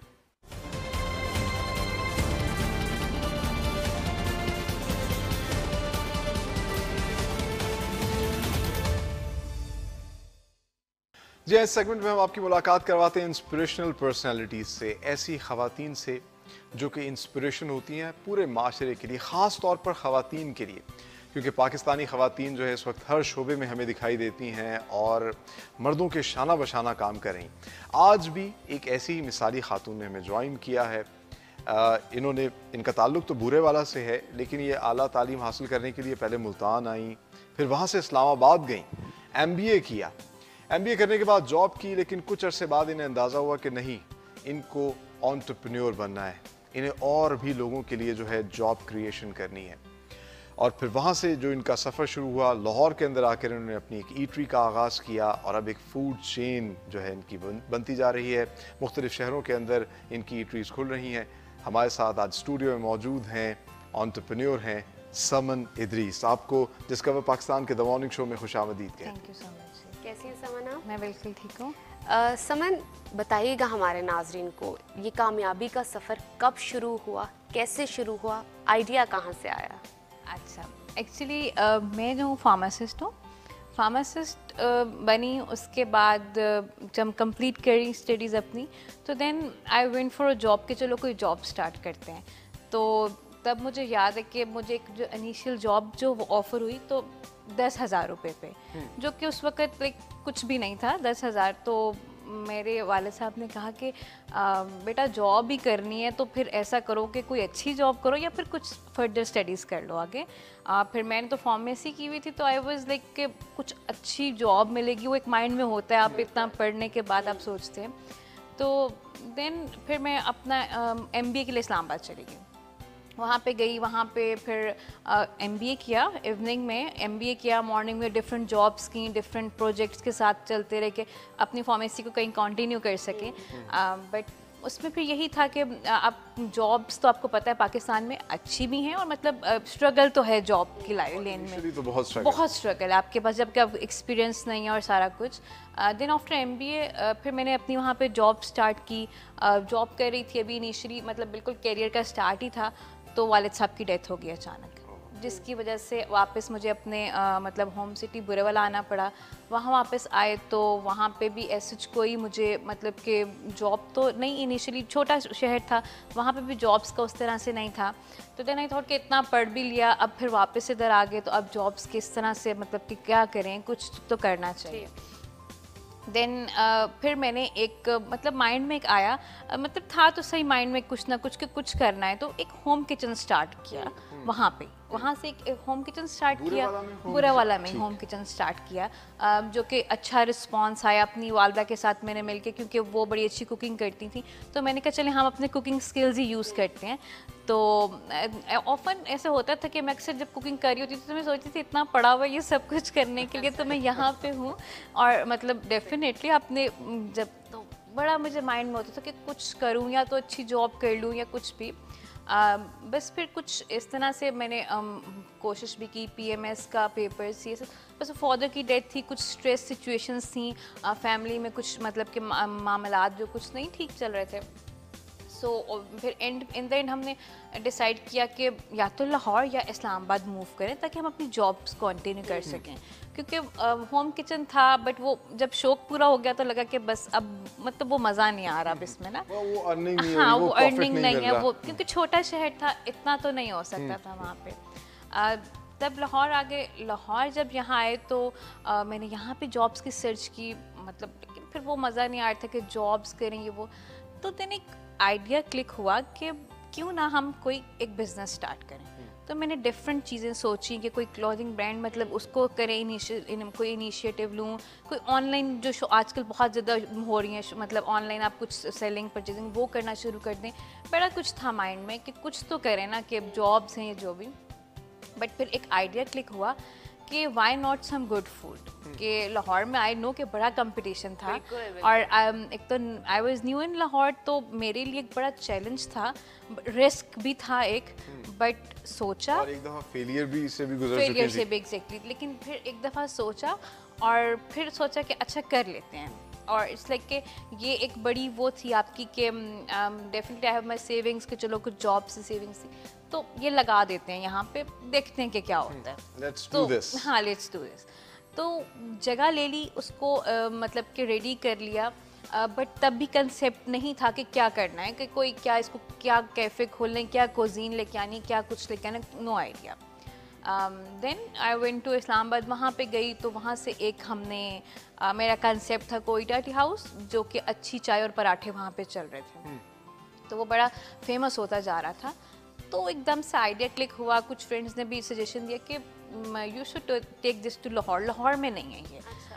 तो तभी था कि अच्छा क्लिक होगा लाहौर वालों को कि नहीं होगा क्योंकि आ, मुझे एक बात पता थी कि लाहौर में बहुत कंपटीशन है लाहौर में बहुत अच्छा फ़ूड है। तो मुझे डर भी बहुत था कि वहाँ पे ले जाऊँगी। तो फेलियर हुआ तो मेरा तो पूरा मतलब प्रोजेक्ट ही मतलब वेस्टेज अ, सारी भी खत्म। वे- आपकी सेविंग्स भी ख़त्म। वो डेफिनेटली एक वो होती है ना कि सेविंग्स करें जी अपने फ्यूचर के लिए तो उसको आप मतलब लेकिन था कि बस लगा देते हैं उसको क्या करना है। बस वो फिर आए यहाँ पे जैसे ओपन किया एक माइंड में सेट हो गया कि ठीक है जी कोई डाटी हाउस हम अपने नाम मतलब उसको खोलेंगे। तो वो हमने ओपन किया बट जैसे ही वो सब रेडी हुआ तो लॉकडाउन आ गया उसमें। ओहो। जी। तो वो एक जो सिक्स मंथ्स का टाइम पीरियड था कि my building was ready my everything was ready like we were ready to go कि अब खोलना है। तो उसमें आपको फिर जो उसमें मेरा सबसे बड़ा चैलेंज था कि फाइनेंशली डेफिनेटली कि आपने कैसे अपने उनको करना है लोग कुछ लोग हायर कर लिए थे एम्प्लॉयज़ उनको भी पे करना पड़ा क्योंकि बड़ी मुश्किल से उनकी हायरिंग की थी। उसके बाद हमें रेंट वगैरह बिल्डिंग का वो सब कुछ देना पड़ा। तो वो बड़ा फाइनेंशियली थोड़ा सा मतलब उसमें थोड़ा सा मैं होगी कि एक टाइम पे आता कि अच्छा छोड़ देती हूँ बस रहने देती हूँ नहीं करती बस छोड़ देते हैं इसको। बज़ाहिर देखा जाए आप बिलाशुबा बहुत से लोगों के लिए मिसाल हैं और ख़ास तौर पे ख़वातीन के लिए इसलिए क्योंकि आपके जितने भी वर्कर्स हैं वो सारे मर्द हैं। किस तरीके से फिर मैनेज करती हैं हैंडल करती हैं इन सब लोगों को और every day is a new day exactly exactly, ये तो नो डाउट के टू बी वेरी स्टार्ट में मतलब स्टार्टिंग में uh, एक होम किचन से कैफ़े में आ जाना एक बहुत बड़ा चेंज था डेफिनेटली और मेरे जितने भी एम्प्लॉयज़ हैं मतलब सारे ही एम्प्लॉयज़ तो हैं लेकिन जो लोग हमने डील करने होते हैं वो भी मोस्टली मेरे साइड पे स्टूडेंट्स हैं लड़के हैं वो। तो लोगों की सबसे पहले तो माइंड एक्सेप्टेबिलिटी नहीं हो रही थी ना कि फीमेल यहाँ पे कैसे और क्यों है? तो वो अक्सर मैं जब I suppose to be there मैं वहीं पे होती हूँ वहाँ पे। तो लोगों को होता था कि ये कौन है ये क्यों है यहाँ पे तो आहिस्ता आहिस्ता उनको भी समझ आ गई कि अच्छा शी इज़ ऑनर और ये यहाँ पे होती हैं। तो और बहुत लोगों ने अप्रिशिएट किया। मुझे बहुत जो अच्छी चीज़ लगी कि कुछ लोग इतना अप्रिशिएट करते हैं कि आपका दिन पूरा हो जाता है कि एक्सेप्टेंस में कितना वक्त लगा लोगों को। लोगों को टाइम लगा उन अच्छा। हाँ उनको टाइम लगा लोग टाइम दिया उन्होंने। हाँ उन्होंने इतना जल्दी एक्सेप्ट नहीं किया कि अच्छा फीमेल है यहाँ पे बट वही बात है कि कुछ लोगों ने बहुत अप्रिसिएशन भी दी जिसकी वजह से आ, मुझे थोड़ा और मतलब बीच में कुछ ऐसे पॉइंट्स भी आते थे कि आप कहते थे अच्छा क्योंकि कोविड है पूरी पैनाडेमिक पूरी सिचुएशन तो डेफिनेटली कुछ पॉइंट्स ऐसे आते थे जिसमें कहते थे कि अच्छा बस बंद कर दें मतलब बस निकल छोड़ दें लेकिन वो लोगों का रिस्पॉन्स लोगों की अप्रिसिएशन इसने मुझे बहुत मोटिवेटेड ये बताइए कि ये जो आपकी कोयटा टी हाउस है वहाँ की जो टी है चाय है लोगों को बहुत पसंद है। कोई स्पेशल इंग्रेडिएंट ऐड ऑन करते हैं या क्या अच्छा, क्या रेसिपी है ऐसा है कि बेसिकली ये जो एक तरीका है एक अच्छा। तो चाय बनाने का एक तो इसकी पत्ती और दूध ठीक है। ये दो चीज़ें हैं। दूध पे हम कॉम्प्रोमाइज़ नहीं करते दूध हमारा जो है मतलब ताज़ा जो आता है खुला हुआ दूध। नो डब्बा वाला मिल्क नहीं और कोई पाउडर मिल्क नहीं है इसमें। तो इसके लिए वो इस बल्कि स्किल्ड वर्कर भी होंगे वो भी किस तरह सर्च किए किस तरह वो वेंडर्स आपको ढूँढने पड़ते हैं और ये बड़ी एफर्ट्स हैं। हम लोग बैठ रहे होते हैं कैफ़े में जब मैं भी जाती थी कैफ़े में तो खाती थी और आ जाती थी। लगता ही नहीं था कि बस आ गया और बन के खाना ये नहीं पता था कि पीछे इतनी एफर्ट्स के बाद ये सब चीज़ें आती हैं। Not from that thing single यानी कि उसकी परचेजिंग से लेकर उसके बनने तक। बहुत सारे स्टेप्स होते हैं जो कि आपको मतलब डेली बेसिस पे आपको देखने होते हैं। थोड़ा सा ऊंच नीच हो जाए लोग तो आपको कह देते हैं जी आपका खाना ये चीज़ें अच्छी नहीं थी। और बड़ा लोग आपको फिर we are open for any type of comments में लोगों से रिव्यूज़ लेती रहती हूँ। तो उसमें यही होता है कि लोग तो दो मिनट में कह देंगे जी अच्छा नहीं है बहुत अच्छा है। तो उसके पीछे जो एफर्ट्स होती हैं वो डेली बेसिस की बड़ी एफर्ट्स हैं जो लग रही होती हैं। तो रूटीन में आने में शुरू में तो डेफिनेटली बहुत मुश्किल लगता है। बार बार बंदा सोचता है कि यार इसको मैं वाइंड अप करूँ या कंटिन्यू करूँ। पर फिर एक सर्कल चल जाता है एक व्हील शुरू हो जाता है रूटीन में आ जाती है। कितना अरसा लगता है एक बिज़नेस को रूटीन में आने के लिए? बिज़नेस अल्हम्दुलिल्लाह मेरा ये था कि अच्छा रिस्पांस मिला मुझे लोगों से क्योंकि फ्रॉम द डे वन मैंने क्वालिटी पे कॉम्प्रोमाइज़ नहीं किया। Taste and quality I know कि लाहौर में डेफिनेटली एम्बियंस भी मैटर करती है बट टेस्ट भी करता है। ठीक है। अगर आपका मतलब व्हाट आई बिलीव कि मेरा टेस्ट शायद जो है वो ज़्यादा मैटर करे एज़ कंपेयर टू एम्बियंस मतलब कि वो क्योंकि आउटडोर है आउटडोर में आप उतनी अच्छी एम्बियंस तो जितनी भी दें बारिश है कभी ये है कभी वो है वो तो आपको डेली कुछ ना कुछ चीज़ें करनी पड़ती कोई डाउट नहीं है लोग वहाँ पे जाते हैं जहाँ पे टेस्ट उनको मिले रियल टेस्ट उनको मिले। अच्छा ये भी बताइए समन ट्रैवलिंग का शौक रखती हैं घूमती फिरती हैं? ट्रैवलिंग का शौक बिल्कुल रखती हूँ लेकिन अ, अपने बिज़नेस की वजह से आपकी एक्टिविटीज़ बहुत लिमिटेड हो जाती हैं। बिल्कुल आमतौर पे समझा जाता है कि आप ऑन्टरप्रेन्योर बन गए हैं तो आप आज़ाद हैं जहाँ मर्ज़ी हाँ, जाएँ। बिल्कुल। बट आपको तो अपनी फैमिली गैदरिंग्स और ये सब चीज़ें इनको भी इसलिए रिस्ट्रिक्ट करना चाहती हूँ। करना पड़ता है इसलिए कि इनिशियली मतलब व्हाट आई बिलीव कि आपको खुद होना चाहिए वहाँ पे। अगर आप किसी के किसी को दे देंगे तो माइट भी वो आपको रिस्पॉन्स भी नहीं मिलेगा। सही। आपकी चले अर्निंग्स तो बहुत बाद में आती हैं। फ़र्स्ट थिंग आपका रिस्पॉन्स एंड इम्पैक्ट अब एक बंदा है उसको फ़ूड पसंद नहीं आ रहा। If my manager is there तो वो जाके उस तरह से उसको डील नहीं करेगा जैसे मैं खुद करूँगी क्योंकि मेरी अपनी चीज़ है। ये जब मेरी अपनी चीज़ होगी तो मैं ज़्यादा कस्टमर भी बड़ा Exactly, हाँ। तो वो फिर हम उसके पास खुद जाके एंड मैं खुद नॉर्मली जाती भी हूँ।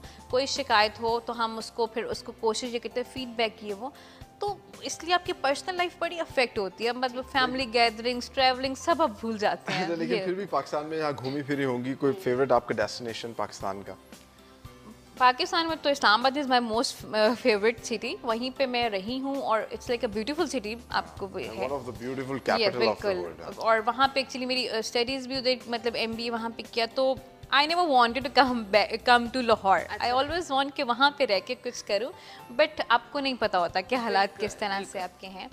तो but that is the most beautiful मतलब कि अब, अब आप भी ये कहती हैं कि लाहौर लाहौर है।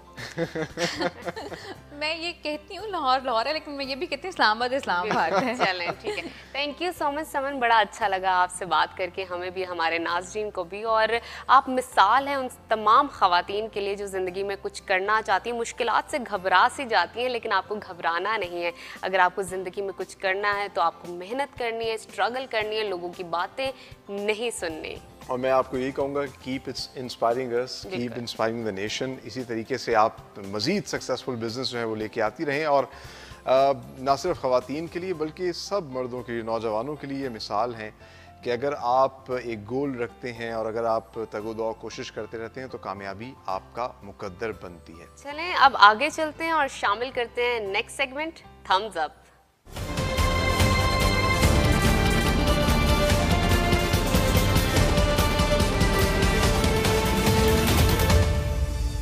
ji इस सेगमेंट में हम आपके साथ एक ऐसी मोटिवेशनल स्टोरी शेयर करते हैं जिससे हम सब भी मोटिवेट होते हैं और बिलाशुबा हमें फ़ख्र होता है ऐसे लोगों के ऊपर जो हाथ नहीं फैलाते जो मेहनत करते हैं। आज हम एक ऐसे ही नौजवान की कहानी आपके सामने लेके आए हैं। लाहौर से इनका ताल्लुक है फारूक और इनका एक बाजू नहीं है।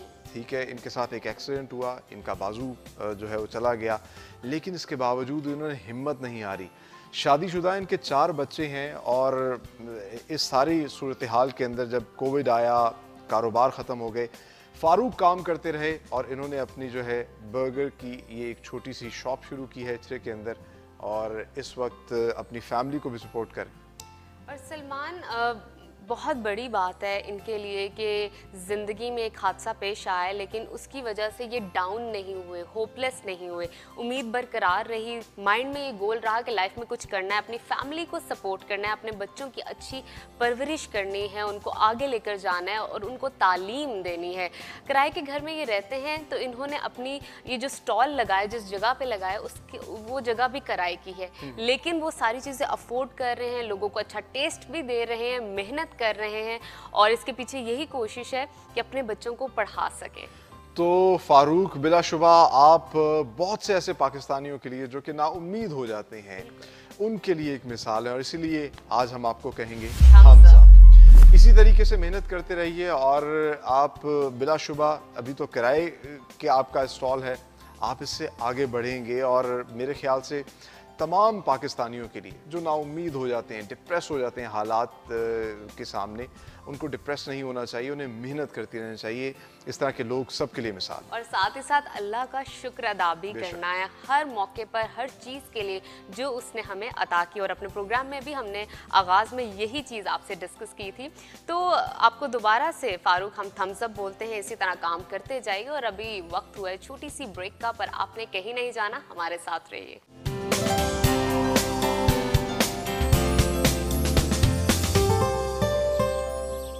If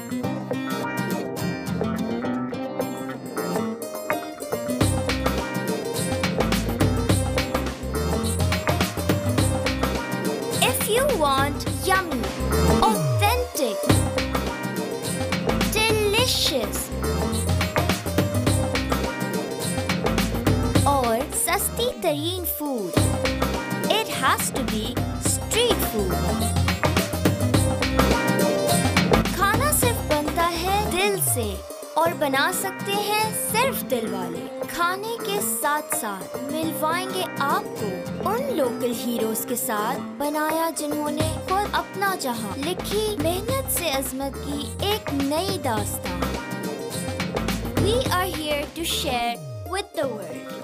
I am Hira Khanam, bringing you the program Street Food. Watch Street Food every Tuesday at 8:30 p.m. Only on Discover Pakistan.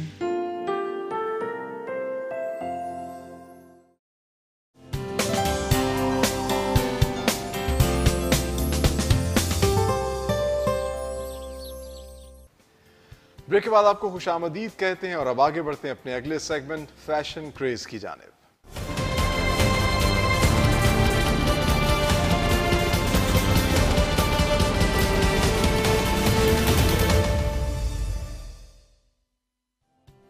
इस सेगमेंट में हम आपकी मुलाकात करवाते हैं उन लोगों से जिनका गहरा ताल्लुक होता है फ़ैशन इंडस्ट्री से। फ़ैशन को बहुत अच्छे से अंडरस्टैंड करते हैं और साथ ही साथ आपको इन्फॉर्मेशन देते हैं कि आजकल कौन कौन से फ़ैशन इन है, किस तरह के ट्रेंड्स चल रहे हैं समर हैं तो कलर कौन सा इन है ज़्यादा?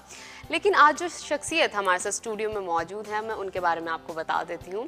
अमेजिंग मॉडल हैं एक्टिंग का भी शौक रखती हैं इसके साथ साथ बहुत सारे कमर्शियल्स इन्होंने किए हैं और मज़ीद इन्हीं से जानते हैं आज हमें स्टूडियो में ज्वाइन किया है महानूर परवेज़ ने डिस्कवर पाकिस्तान के द मॉर्निंग शो में आपको खुश आमदीद कहते हैं। Aslam thank you so much for calling me on your show वालेकुम अस्सलाम। सबसे पहले तो महानूर ये बताइए क्या बहुत पहले से शौक था मॉडल कर बनने का मॉडलिंग में आने का? I would say when I was, I think, uh, be five years old I had this passion और वो मैंने कैसे अब बड़े होके थोड़ा सा जज किया। वो ये है कि even one I use to go through my albums जो पुरानी बचपन की चाइल्डहुड होती हैं तो वहाँ पे I use to take my moms to Bata maybe you have done it too और uh, वो लेके तो मैंने साड़ी uh, को उसको तो बना कर तो मैं I use to take pictures और वो my mom use to click them और उस टाइम पे उनको भी शायद नहीं पता था दैट आई एम इंटरेस्टेड और मेरी थोड़ी सी मॉडलिंग के अंदर आने की जर्नी वो इस तरीके से बनी कि पहले तो मैं एक बहुत ज़्यादा बचपन में एक फ़ैट किट थी कि मेरा इवन साइज़ नहीं मिलता था बचपन में। और बच्चे जो फ्रॉक्स वगैरह पहनते हैं इवन वो जब मैं जाती थी इवन वो भी वो कहते थे सॉरी आपका साइज़ नहीं है। तो I use to cry that why I want to wear those frocks and look pretty and all तो लेटर ऑन और बचपन से ही मेरा ऐसा नहीं है कि फैटनेस कहीं गई वो मेरे साथ रही। उसके बाद और still I use to feel that no I can do it and I will do it होता है ना बचपन में एक हल्का सा क्रेज होता है कि आपने कुछ करना है। फिर लेटर ऑन आगे uh, मैं स्टडीज़ में बहुत अच्छी थी। And my father wanted me to become a doctor and I also loved my degree के ठीक है मुझे मुझे M B B S doctor भी बनना है। उसके बाद फिर क्या हुआ कि वो जो फैटनेस की जर्नी थी और साथ में एमबीबीएस वो अब मुझे थोड़ा सा क्लैश करने लगी कि मुझे था कि मुझे मुझे मॉडलिंग में भी जाना है। इवन बोर्ड एग्ज़ाम्स में I remember I use to sit down and write how to become a model on Google वहाँ से मुझे क्या ही पता लगेगा। तो एक ये भी साइड थी मेरी। लेटर ऑन मैंने अपने आप के ऊपर काम करना शुरू किया। इंटरमीडिएट में आ, मैं स्कोर बहुत अच्छा करती थी। तब भी मुझे कुछ नहीं पता था कि शायद मैं एंटर हो सकती हूँ या नहीं हो सकती। फिर आ, अपने ऊपर थोड़ा सा काम किया। मतलब ट्रांसफॉर्मेशन आपने शुरू कर दी अपनी। ट्रांसफॉर्मेशन शुरू कर दी और पाँच पाँच घंटे आई यूज़ टू वर्कआउट और मुझे फिर पी हो गया था polycystic ovary syndrome it's called polycystic ovary syndrome और ये हर पाँच में से तीन फीमेल्स uh, को हो रहा है।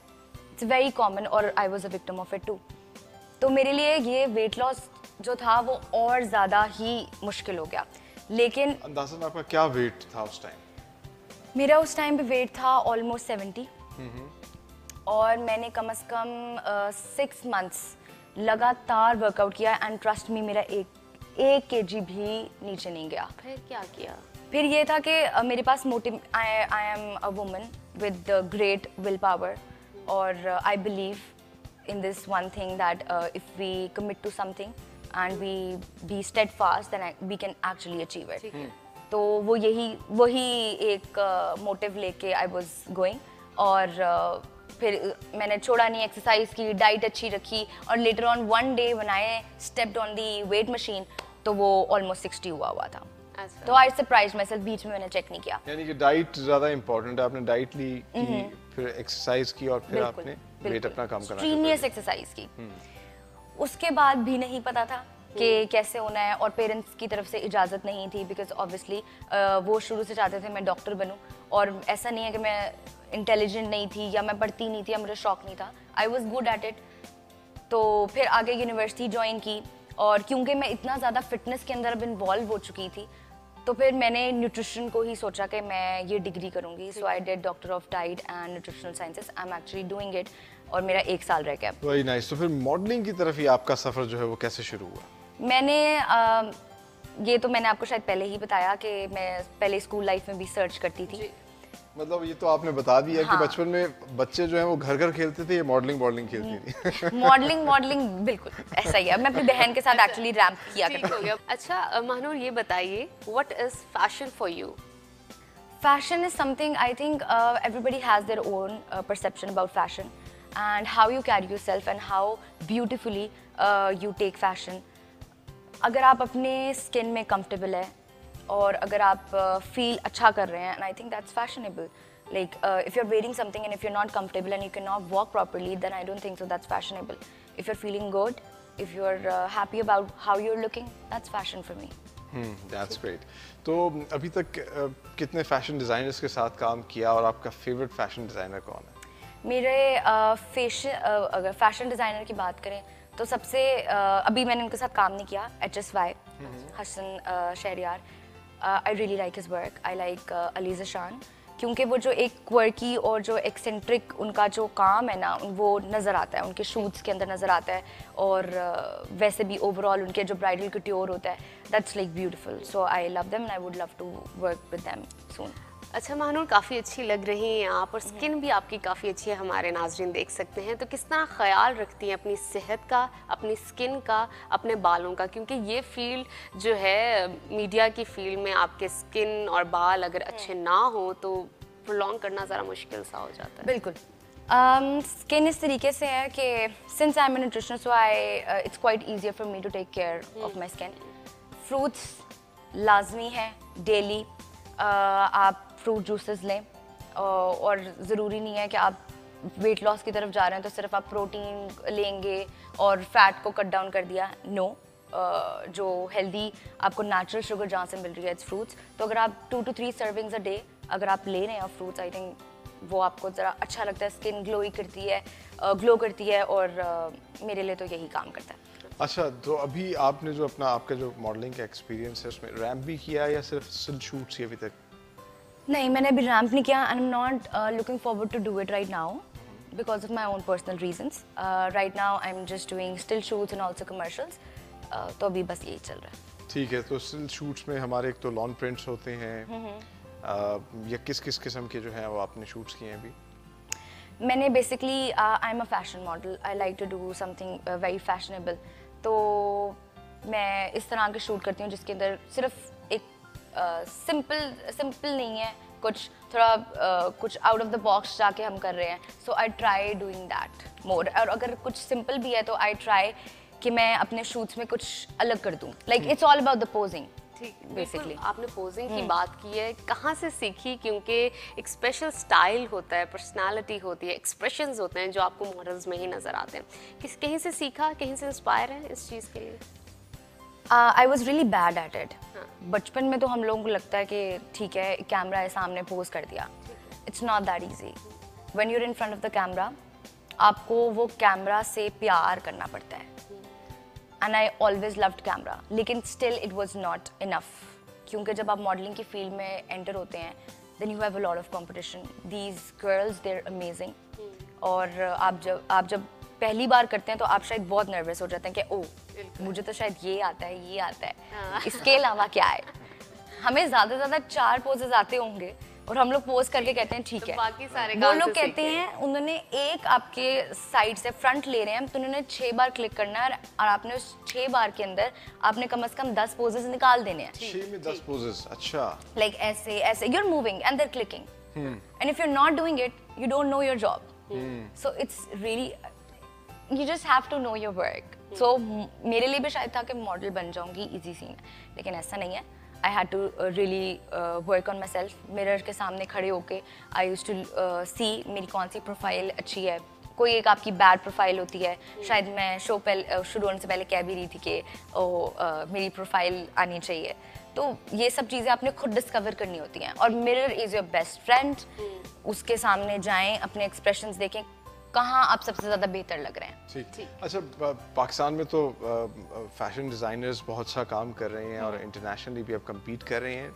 लेकिन फिर भी आप पर्सनली किसमें कंफर्टेबल होती हैं जो ईस्टर्न अटायर्स बनाए जाते हैं या westernized attires I love eastern attires उसका रीज़न ये है कि इट रिप्रेजेंट्स माई कल्चर और uh, और जो हम लोग ईस्टर्न और वेस्टर्न का फ्यूजन एक निकालते हैं I think that's very beautiful वो क्योंकि वो कहीं ना कहीं थोड़ा डिसेंट भी रहता है और मॉडर्निज्म भी आ जाता है उसके अंदर। And you look classy so I love that ठीक है मानूर ये भी बताइए कि ट्रैवलिंग का शौक रखती हैं? और क्योंकि शूट्स के लिए तो आपको जाना पड़ता है डिफरेंट एरियाज़ में क्योंकि आपको बैकड्रॉप अच्छा चाहिए होता है सीनरी अच्छी चाहिए होती है तो कहाँ कहाँ गई हैं? मैं ज़िंदगी में तीन बार गई हूँ। तो मैं ज़्यादातर बाहर नहीं गई मैं इवन पाकिस्तान में ज़्यादा बाहर नहीं गई। अच्छा। मैं पहले स्कूल लाइफ में सिर्फ़ इस्लामाबाद गई हूँ फिर उसके आगे मरी नथिया गली ही मेरे लिए बहुत इसकी वजह क्या? उसकी वजह ये है कि पहले तो my dad was really cautious के नहीं नहीं खतरा होता है बाहर ये वो। बाकी शूट्स के लिए हाँ फैसलाबाद और इस्लामाबाद और मरी नथिया गली आगे जाके हंजा वगैरह का प्लान हो रहा है। तो कोई मसला नहीं महानूर आप घर बैठ के भी पूरा पाकिस्तान देख सकते हैं क्योंकि डिस्कवर पाकिस्तान फैमिली वोकेशन हमारा सेगमेंट है उसमें हम सैर करवाते हैं पाकिस्तान के मुख्तलिफ़ और खूबसूरत मकामात की। तो अगर आपका आप बिज़ी होती हैं या नहीं जा पाती तो आप डिस्कवर पाकिस्तान देखिए। That's perfect for me I think ये तो आपने ईद करा दी मेरी। और ना सिर्फ़ आप देखेंगी बल्कि फिर आप आपका जी जाएगा। आप इनकरेज भी होंगी कि नहीं अब जाके इन जगहों को खुद भी जाके देखा जाए। और also I really like this concept of Discover Pakistan क्योंकि हम लोग बाकी सारे शोज़ देखते हैं जिसके अंदर वेर डिस्कवरिंग अदर कंट्रीज़ और उधर की उधर की सिटीज़ कर रहे हैं। हमें अपने पाकिस्तान का नहीं पता। और देखा जाए तो मैं गई नहीं हूँ। I really love to visit बहुत सारी खूबसूरत मुकाम हैं हमारे पाकिस्तान में। तो अगर शायद मैं वही पूरे कर लूँ पहले तो बेहतर है ना कि मैं पहले कहूँ कि नहीं मैंने अमेरिका जाना है या कहीं बाहर। तो I would love thank you so much शुक्रिया। आने के लिए अपने so एक्सपीरियंसेस calling हमारे साथ शेयर करने के लिए और आपकी जो आपने परसीव किया फ़ैशन से स्टाइलिंग आपके नज़दीक क्या है ये सब हमारे नाजरीन को बताने के लिए। और जो ट्रांसफॉर्मेशन से ये गुजरी हैं जिस तरह उन्होंने कहा है कि आपके अंदर विल पावर होती है आप कुछ भी अचीव कर सकते हैं अगर आप करना चाहते हैं आप डेडिकेटेड हैं टूवर्ड्स दैट तो आप लोग भी अगर मॉडलिंग करना चाहते हैं और अच्छा दिखना तो मेरे ख्याल से हर एक का हक है हर एक को कोशिश करनी चाहिए अच्छे दिखने की। तो एक तो हमारा ये सेगमेंट देखिए और इसको फिर इम्प्लीमेंट भी कीजिए लाइफ में। आगे बढ़ते हैं जी अब, अब यहाँ वक्त हुआ एक ब्रेक का। ब्रेक के बाद मजीद अहम सेगमेंट जो हैं उनको भी प्रोग्राम का हिस्सा बनाएँगे तो कहीं मत जाइए। हमारे साथ रहिए।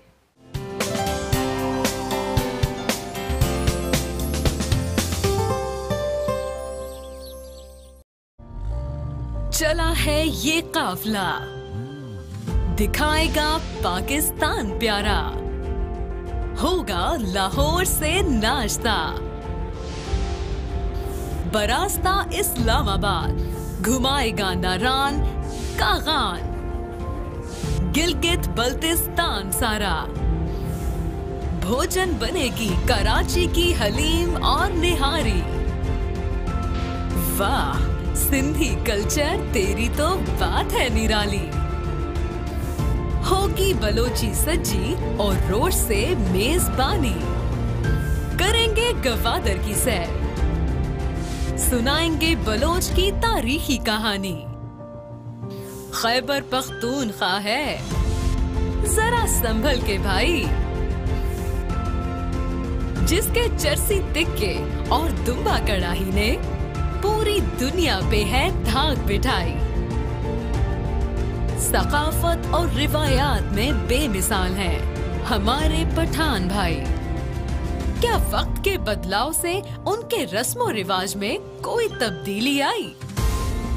खोजेंगे हम, देखेंगे आप।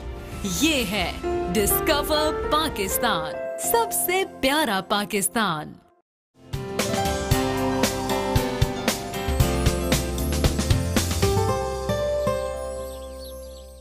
ब्रेक से हम वापस आ चुके हैं और आपको खुश आमदीद कहते हैं। आगे चलते हैं, शामिल करते हैं next segment battle of brands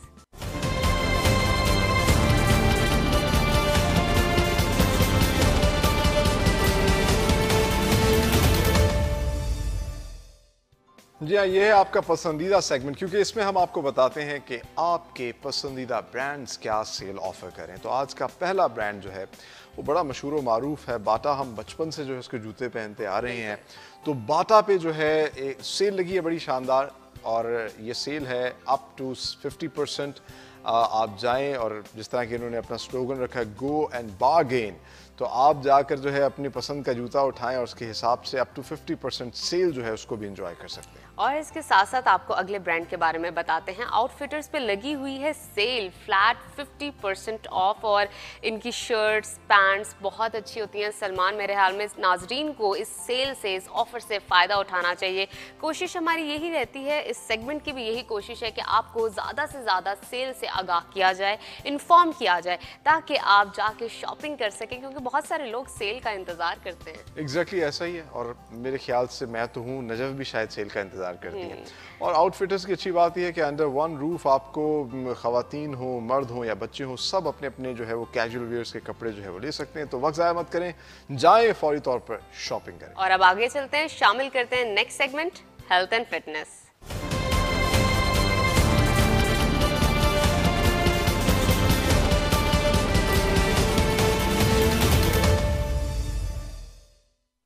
इस सेगमेंट में हम बात करते हैं सेहत के बारे में किस तरह आप अपनी सेहत को मज़ीद इम्प्रूव कर सकते हैं। गाइडलाइन भी आपको देते हैं क्योंकि सेहत बहुत बड़ी नेमत है जान है तो जहान है।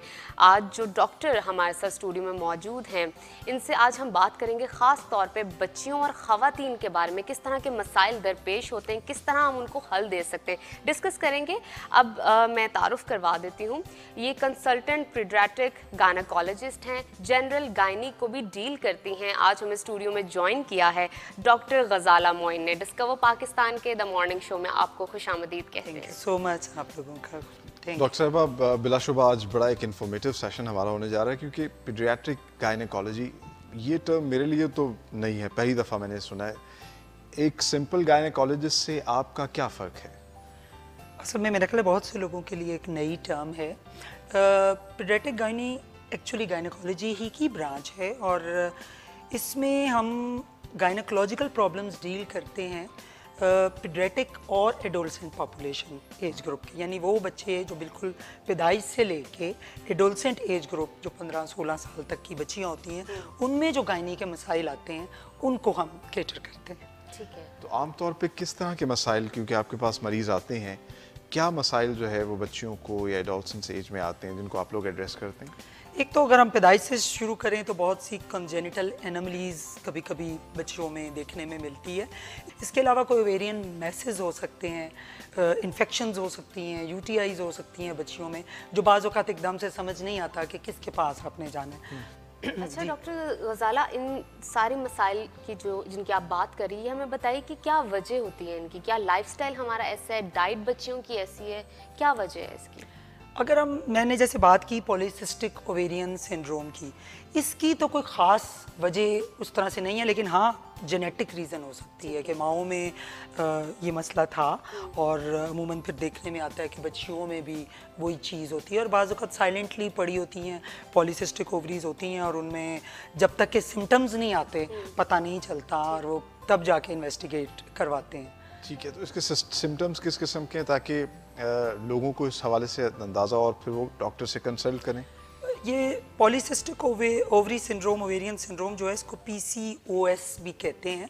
ये एक्चुअली मजमू है बहुत से सिम्टम्स का जिसमें मेनली फोकस जो होता है वो ओवरीज में प्रॉब्लम होती है। और वो जो नॉर्मली जो फॉलिकल्स बनने होते हैं और वो ग्रो करते हैं और वो एक टाइम आता है कि एग रिलीज़ होना होता है।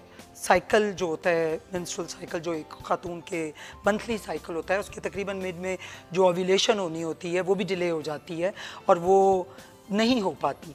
इसके अलावा बहुत सी बच्चियों में चेहरे पे बाल वगैरह निकलने लग तो जाते हैं। हार्मोनल चेंजेस इसमें बिल्कुल होते हैं क्योंकि इसमें कुछ मेल टाइप के हार्मोन्स जो होते हैं एंड्रोजन्स जो नॉर्मली भी वैसे खातन में कुछ तादाद उसकी मौजूद होती है लेकिन वो कुछ ज़्यादा हो जाते हैं नॉर्मल से। उसकी वजह से चेहरे पे बाल बल्कि एक्नी के भी बहुत से मसाइल बच्चियों में देखने में आते हैं कि एक्नी भी आ जाती है।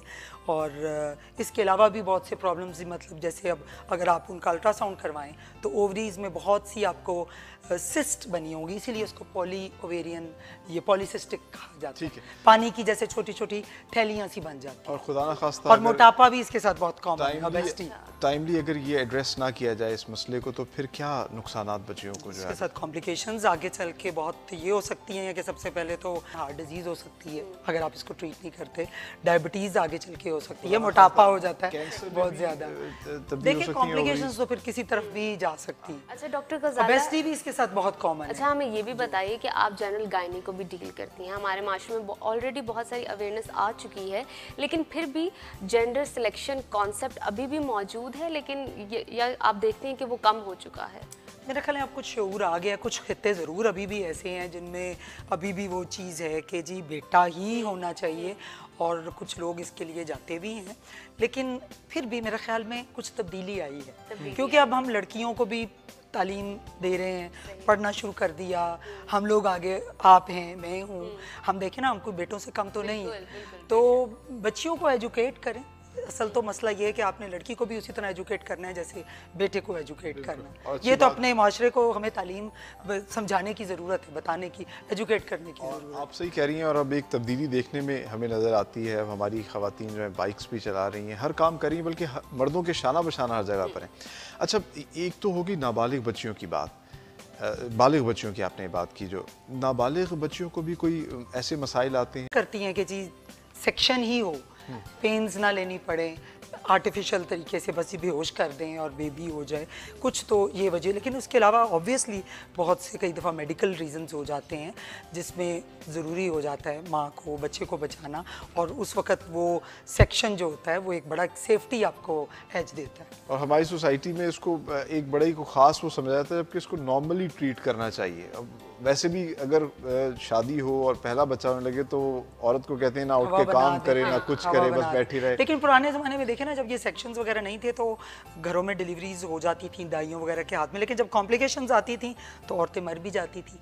अब सेक्शंस का कम अज़ कम ये फ़ायदा हो गया है कि अगर कोई कॉम्प्लिकेशन आती है तो वो टाइमली हैंडल हो जाती है। आपके पास सेक्शन के तमाम इंतज़ाम मुकम्मल होते हैं।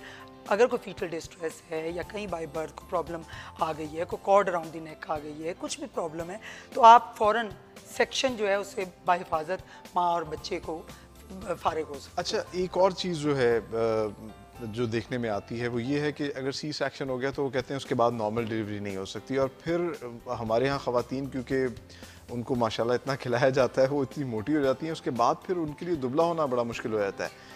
इस हवाले से आप क्या कहेंगे? एक तो पहली बात आपने ये कहा कि और उसके बाद नॉर्मल डिलीवरी नहीं हो सकती। ये तो नहीं है कि नॉर्मल डिलीवरी नहीं हो सकती। बिल्कुल हो सकती है, लेकिन चांसेस ज़रूर कम होते जाते हैं, क्योंकि आपके जितनी दफ़ा एक दफ़ा आपका सेक्शन हो चुका है, हर अगली प्रेगनेंसी में आपके नॉर्मल डिलीवरी के चांसेस कम हो जाती है। बाकी रह गई औरत के मोटापे की बात तो औरतें जो अब अपनी सेहत का ख्याल नहीं रखती।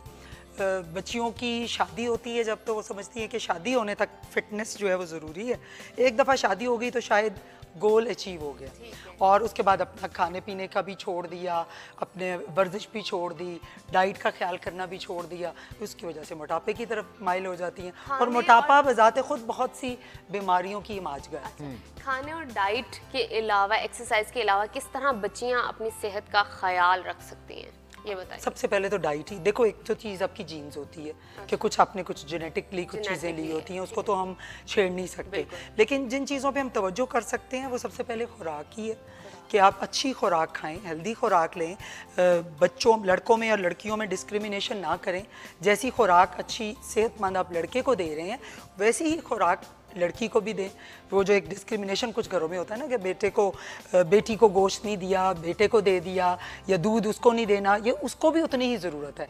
क्योंकि उसने वो माँ भी है बहन भी है बेटी भी है और उसकी गोद में एक पूरा मुआशरा बनना होता है। अच्छा डॉक्टर गजाला ये बताइए कि हमारी बच्चियाँ आजकल पूरी गजा लेने के बाद फिर भी कमज़ोर महसूस करती हैं डेफिशिएंसी deficiency उनमें हो जाती है। क्या वजह है हाँ हमारी बच्चियों में और ख़वातीन में बहुत ज़्यादा कैल्शियम डेफिशिएंसी है बहुत ज़्यादा आयरन डेफिशिएंसी है विटामिन डी आप जिसको भी चेक कर लो एट रेंडम तो मेरा ख्याल है सत्तर फ़ीसद पॉपुलेशन जो है वो विटामिन डी मर्द हो, औरत सब में कमी है। बिल्कुल विटामिन डी डेफिशिएंट है। तो मेरा ख्याल है ये चीज़ें तो एक तो अगर इसकी एक रीज़न ये भी है नाकस खुराक। आप हेल्दी खुराक नहीं लेते जो चीज़ें जिनमें ये रिच चीज़ें आपको ये मिलती हैं वो आप नहीं लेते। आप सिलेक्शन ऑफ़ फ़ूड क्योंकि बच्चियाँ आजकल आप देखें कोक्स और बर्गर्स और ये जो आर्टिफिशियल टाइप के फूड्स कैंड फूड्स पिज़ेज़ ये चीज़ें ज़्यादा ली जाती हैं। हमारे घरों में माएँ जो पुराने ज़माने में जो देसी खुराकें देती होती थी ऑब्वियसली उनकी तो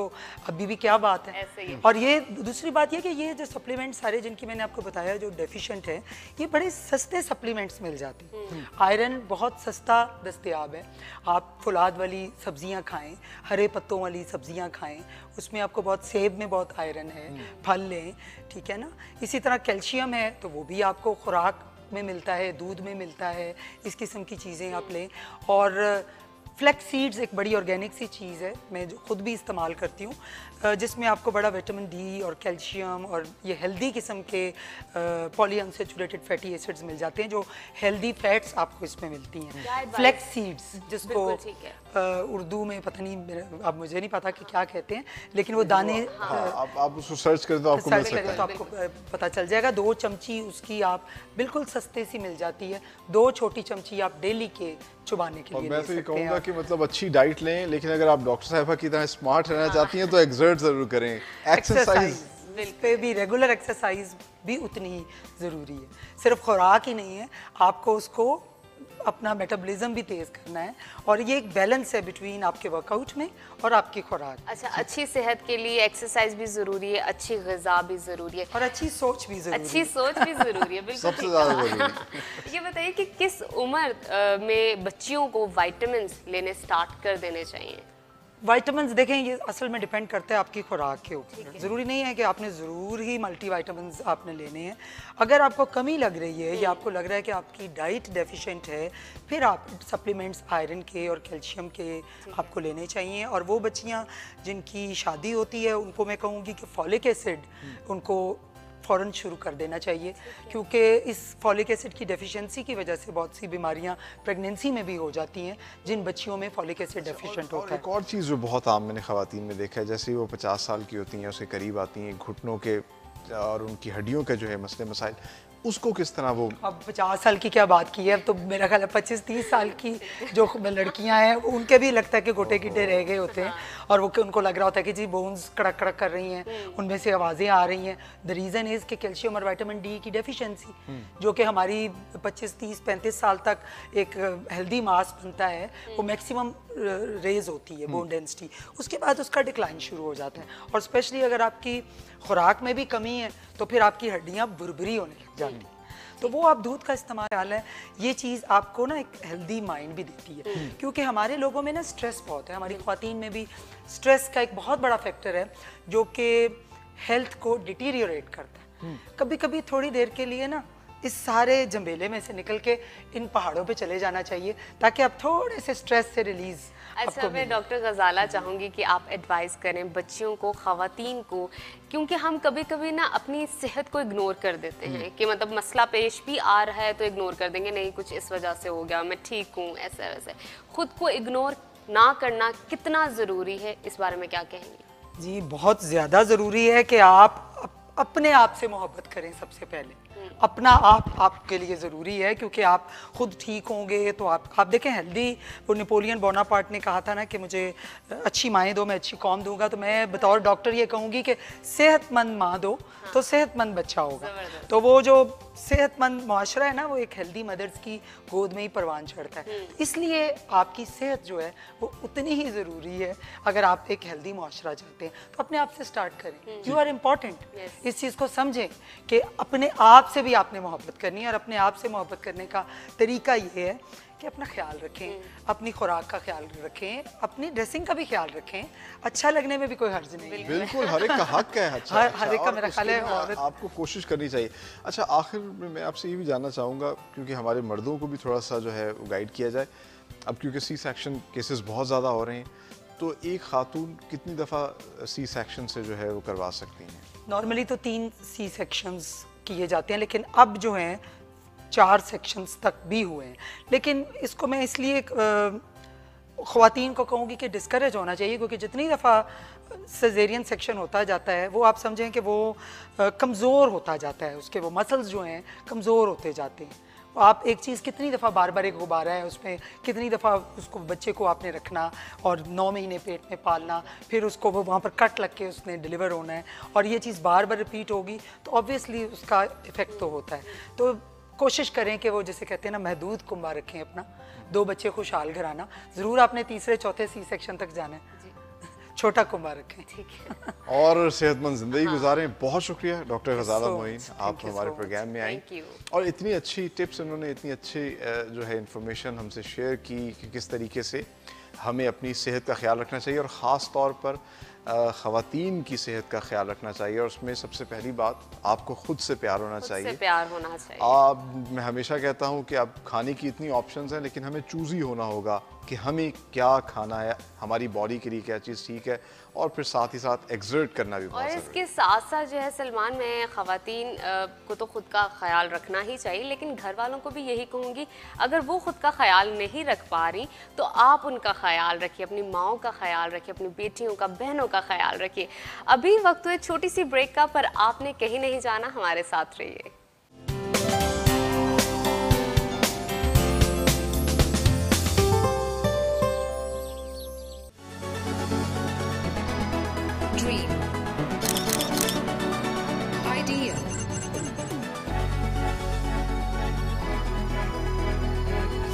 success.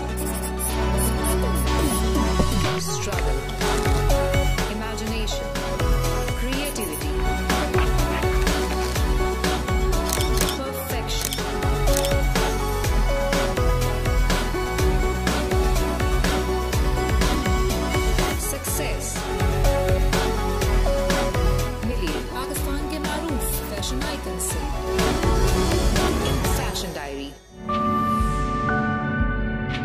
Watch Fashion Diary every Monday at 8:30 p.m.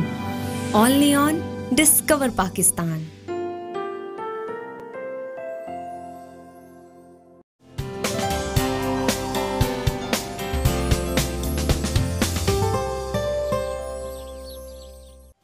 Break से हम वापस आ चुके हैं और आपको खुशामदीद कहते हैं आगे चलते हैं शामिल करते हैं नेक्स्ट सेगमेंट बिलबोर्ड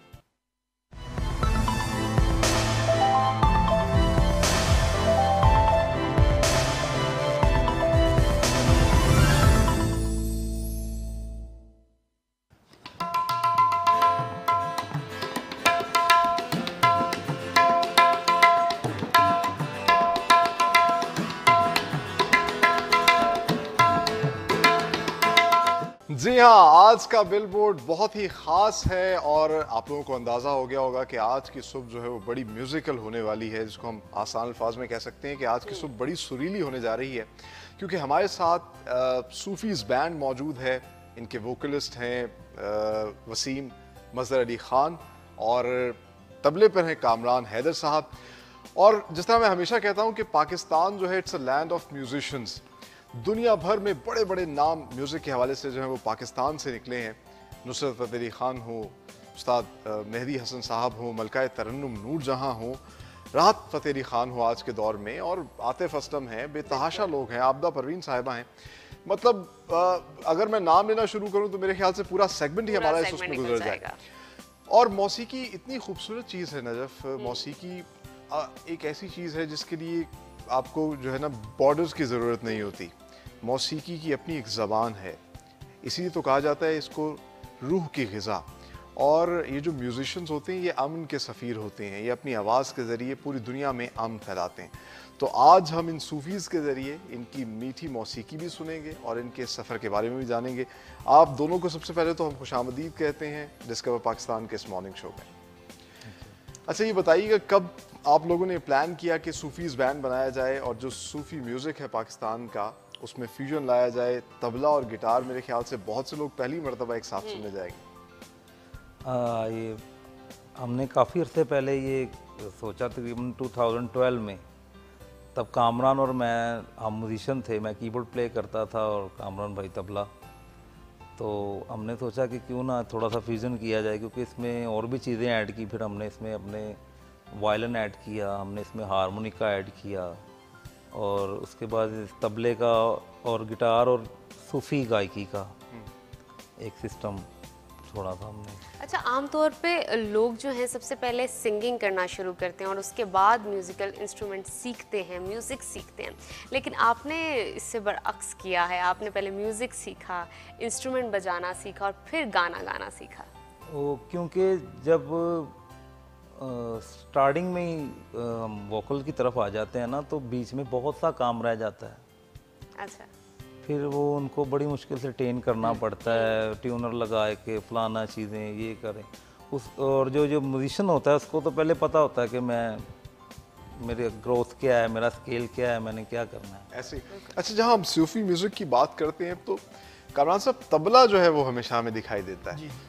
तो तबले की ऐसी क्या खासियत है कि इस ये एक ऐसा रिदम बनाता है क्या? रिदम से काफ़ी डेवलपिंग बनती है बंदे की। जैसे कि आप देखते हैं हार्ट बीट है बंदे की वो भी रिदम में चल रही है। रिदम में होगी तो बंदा ज़रा अच्छा रहता है। अगर रिदम थोड़ा सा होता है तो फिर डॉक्टर के पास चले जाए अच्छा हम मज़ीद आपसे गुफ्तगू करेंगे लेकिन सुनना भी कुछ चाहेंगे हमारे नाजरीन के लिए। क्या सुनाएँगे सबसे पहले? अ, हम पहले एक आइटम सुनाएँगे।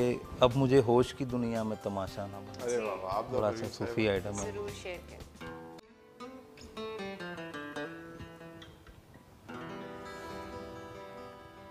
हा हा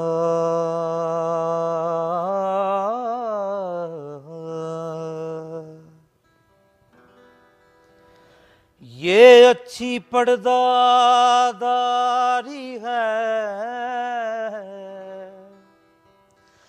ये अच्छी राजदारी है, जो आए तुम्हारी बज्म में।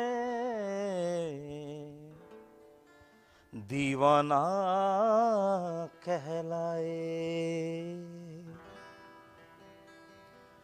अब मुझे होश की दुनिया में तमाशा न बना। अब मुझे होश की दुनिया में तमाशा न बना। तूने दीवाना बनाया तो मैं दीवाना बना।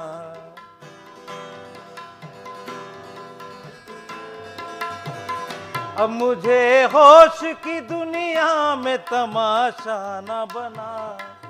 तूने दीवाना बनाया तो मैं दीवाना तूने दीवाना बनाया तो मैं दीवाना बना। ब्यूटीफुल बहुत ही खूबसूरत। और एक तो आपकी आवाज़ इतनी अच्छी और दूसरा जो आप लोगों का कोऑर्डिनेशन है इतना शानदार और इतना बेहतरीन रिदम था कि ऐसा लग रहा था हम कहीं और ही चले गए हैं। बिल्कुल। और ये कामरान मैं आपसे जानना चाहूँगा मतलब ये जो कोऑर्डिनेशन है ये बनाने में कितना अरसा लगा? ये आपकी पिक पे डिपेंड करता है। कि मैं उसकी मुझे उस तरफ़ ध्यान है कि ये बंदा क्या चाह रहा है मुझसे क्या चाह रहा है। अच्छा। तो फिर उसके साथ साथ जैसे वो अपनी चीज़ों को डेवलप करता है मैं भी साथ में उसके साथ फिक्स करता हूँ कि ये अच्छा लगेगा ये अच्छा लगेगा। ये कंप्यूटर से भी तेज़ काम है। ओहो। गाने में तो- अलाइन करना है हाँ, साथ। गाने में तो रियाज देखा जाता है कितना आप प्रैक्टिस कर रहे हो पूरे दिन में। अब आप इंस्ट्रूमेंट प्ले करते हैं तो कितनी प्रैक्टिस की है आपने इसके लिए? इसकी भी बहुत प्रैक्टिस होती है। हम जब स्टार्टिंग किया था तो रोज़ाना आठ दस घंटे प्रैक्टिस करते थे। आठ दस घंटे। हम्म। तो फिर उसके वेन्स वगैरह को फिर आदत पड़ जाती है कि कैसे मूव होना है कैसे करना है। अच्छा आपदा परवीन साहिबा का तो आपने सुना दिया लेकिन एक और आवाज़ है जिसने पूरी दुनिया में पाकिस्तान का नाम रोशन किया और वो है नुसरत फतेह खान साहब। बिल्कुल। बिल्कुल। अगर उनका कोई गज़ल या कोई भी नगमा में। आप इस तरह तो होश उड़ाया न कीजिए। यूँ बन सवर के सामने आया न कीजिए। काली काली जुल्फों के फंदे न डालो। काली काली जुल्फों के फंदे न डालो। हमें ज़िंदा रहने दो है हुस्न वालो। काली काली जुल्फों के फंदे न डालो। हमें ज़िंदा रहने हुस्न वालो। बहुत खूब बहुत ही खूबसूरती से आपने इंस्ट्रूमेंट भी बजाया और आपने गाया भी। मैम ये बड़ा मुश्किल इंस्ट्रूमेंट है तार का। जी। बिल्कुल हर इंस्ट्रूमेंट मतलब अपने आप में एक अलग दुनिया है साथ में सिंगिंग मुश्किल- हो जाती है ना वो उसको हाँ हाँ। सारा मैच यही मैंने बात कर रहा था कि ये सब करना बड़ी मुश्किल तो कितनी रियाजत कितना मतलब टाइम देते हैं जैमिंग को? जैमिंग को तकरीबन अब भी मैं टू थ्री आवर्स लाजमी। दिन में कोई भी काम हो लेकिन ये निकालने पड़ते हैं अपने काम के लिए। ठीक। अच्छा आप ख़ास तौर पर काम कर रहे हैं जो पाकिस्तान का फोक म्यूज़िक है जो पाकिस्तान का सूफ़ी म्यूज़िक है क्लासिकल म्यूज़िक उसको फ्यूजन जो है उसमें मतलब एक नया आप नई तर्ज का लेकर आ रहे हैं। तो मेरे ख्याल से हमारे नाजीन भी यही चाह रहे होंगे कि ज़्यादा से ज़्यादा आपसे सुना जाए। कोई सराइकी ज़बान का क्योंकि इतनी हाँ मीठी ज़बान है हमारी। उसका कोई फ्यूजन हमारे नाजीन के लिए? अ, ये सराइकी बड़ा अच्छा अफजल आजिद साहब बहुत अच्छे हमारे ट्यूनर म्यूज़िक डायरेक्टर हैं वो। तो उन्होंने बड़े अच्छी बड़ी अच्छी ट्यूनें बनाई लाला तावला जी की क्या बात और अपना शफाउल्ला साहब की। क्या बात और बड़े बड़े अच्छे सिंगर तो मैं एक आपको सराइकी ज़रूर ज़रूर। ज़रूर सुनाता करें हूँ हमारे नाजरीन के साथ। मैं खामोजी हाँ बचाया माही। मैं सुती पही हूँ जगाया माही। मैं पूछे अजो फेरा कि मैं पाई? ख्याल अज मेरा कि मैं आई मैं खामोजी हाँ बचाया माही। मैं सुती पही हूँ जगाया माही। अरे वाह वाह बहुत ही खूब बहुत ही खूब। और इतना मतलब मज़ा आ रहा है। आप लोग टेलीविज़न स्क्रीन्स पे देख रहे होंगे आप भी इंजॉय कर रहे होंगे लेकिन जो लाइव सुनने का इनको मज़ा आता है वो आप लोगों के लिए ख़ास तौर पे डिस्कवर पाकिस्तान आपको ये भी बताएँ कि हमारी कोशिश ये है कि जहाँ पाकिस्तान की खूबसूरती में हम टूरिज़्म दिखाते हैं आप देख सकते हैं पीछे कितने खूबसूरत मैडोज़ हैं। तो म्यूज़िक भी पाकिस्तान की एक ऐसी चीज़ है जो कि वाकई टूरिस्ट को पुल करती है। दुनिया भर से लोग आते हैं तो हम हम लोग एक फ्यूजन जो है करने जा रहे हैं इन कि मुख्तलिफ़ अच्छी अच्छी डेस्टिनेशन पे आप जैसे म्यूजिशियंस के साथ इवेंट्स रखेंगे ताकि लोग आएँ म्यूज़िक को भी देखें और नेचर को भी देखें। तो आखिर में कोई फ्यूजन आपके गिटार का सिर्फ़ गिटार का जिस तरह इन्होंने तबले का अपना हमें फ़न दिखाया आपने गिटार का भी ज़रा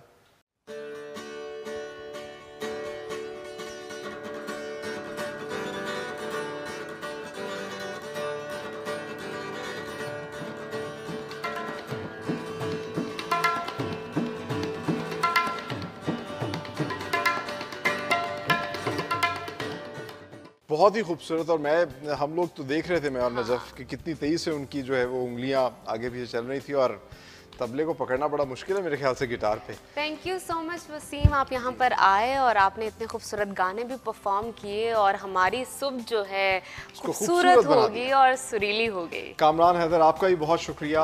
आप दोनों इसी तरीके से अच्छा म्यूज़िक प्रोड्यूस करते रहिए और हमें उम्मीद है कि आइंदा आने वाले दिनों में बहुत अच्छा म्यूज़िक आप लोगों की जानब से आएगा। और जिस तरह के बड़े बड़े नाम हमने लिए उन्हीं नामों में से एक नाम सूफीज़ बैंड का होगा आप लोगों का होगा। तो आ, आप लोगों ने भी इंजॉय किया होगा लेकिन अब वक्त हुआ है जी आगे बढ़ने का अपने आखिरी सेगमेंट टुडेज चैलेंज की जाए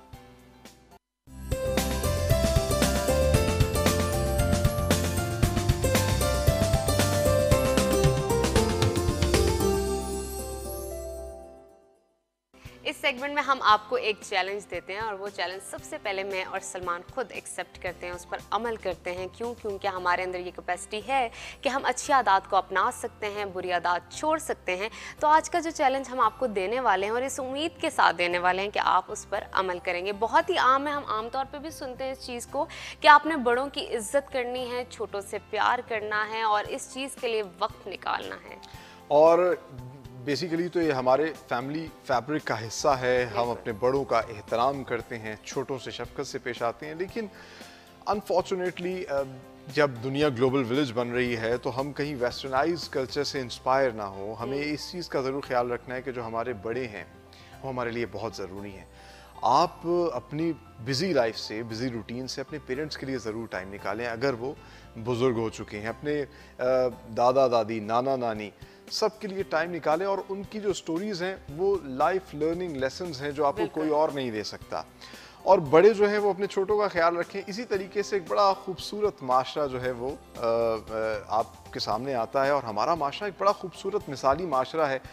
हमें ये चीज़ें दोबारा से अपनी लाइफ के अंदर लेके आनी है ताकि हम पूरी दुनिया के लिए एक मरतबा फिर मिसाल बने। और सलमान हम इस चीज़ को एडमिट करते हैं कि पूरा दिन आपके पास ज़रा आप बिज़ी रहते हैं स्कूल में यूनिवर्सिटीज़ में कॉलेजेस में लेकिन पूरे दिन में दो घंटे तीन घंटे अपने बड़ों के लिए निकालें उनके उनके पास बैठे उनसे प्यार करें उनकी स्टोरी सुने। और बाहर जाते हुए उनकी दुआएँ लेकर जाएँ। बिल्कुल। जब वापस आए तो रात को कोशिश करें कि उनके साथ बैठें और उनकी थोड़ी खिदमत करें हम्म। क्योंकि यही काम आएगी। और जब आप ये सब करेंगे तो आपकी जो आइंदा आने वाली नस्ल, जो आपके बच्चे हैं, वो आपको देख के सीखेंगे, फिर आपके साथ भी वो इसी चीज़ को दोहराएँगे। तो ये था हमारा आज का प्रोग्राम उम्मीद है आपको पसंद आया होगा। अपने फीडबैक से हमें ज़रूर आगाह कीजिएगा, क्योंकि आपका फीडबैक हमारे लिए बहुत ख़ास है। हमें मालूम होता है, क्या आपको अच्छा लगा और क्या आप मज़ीद देखना चाहते हैं।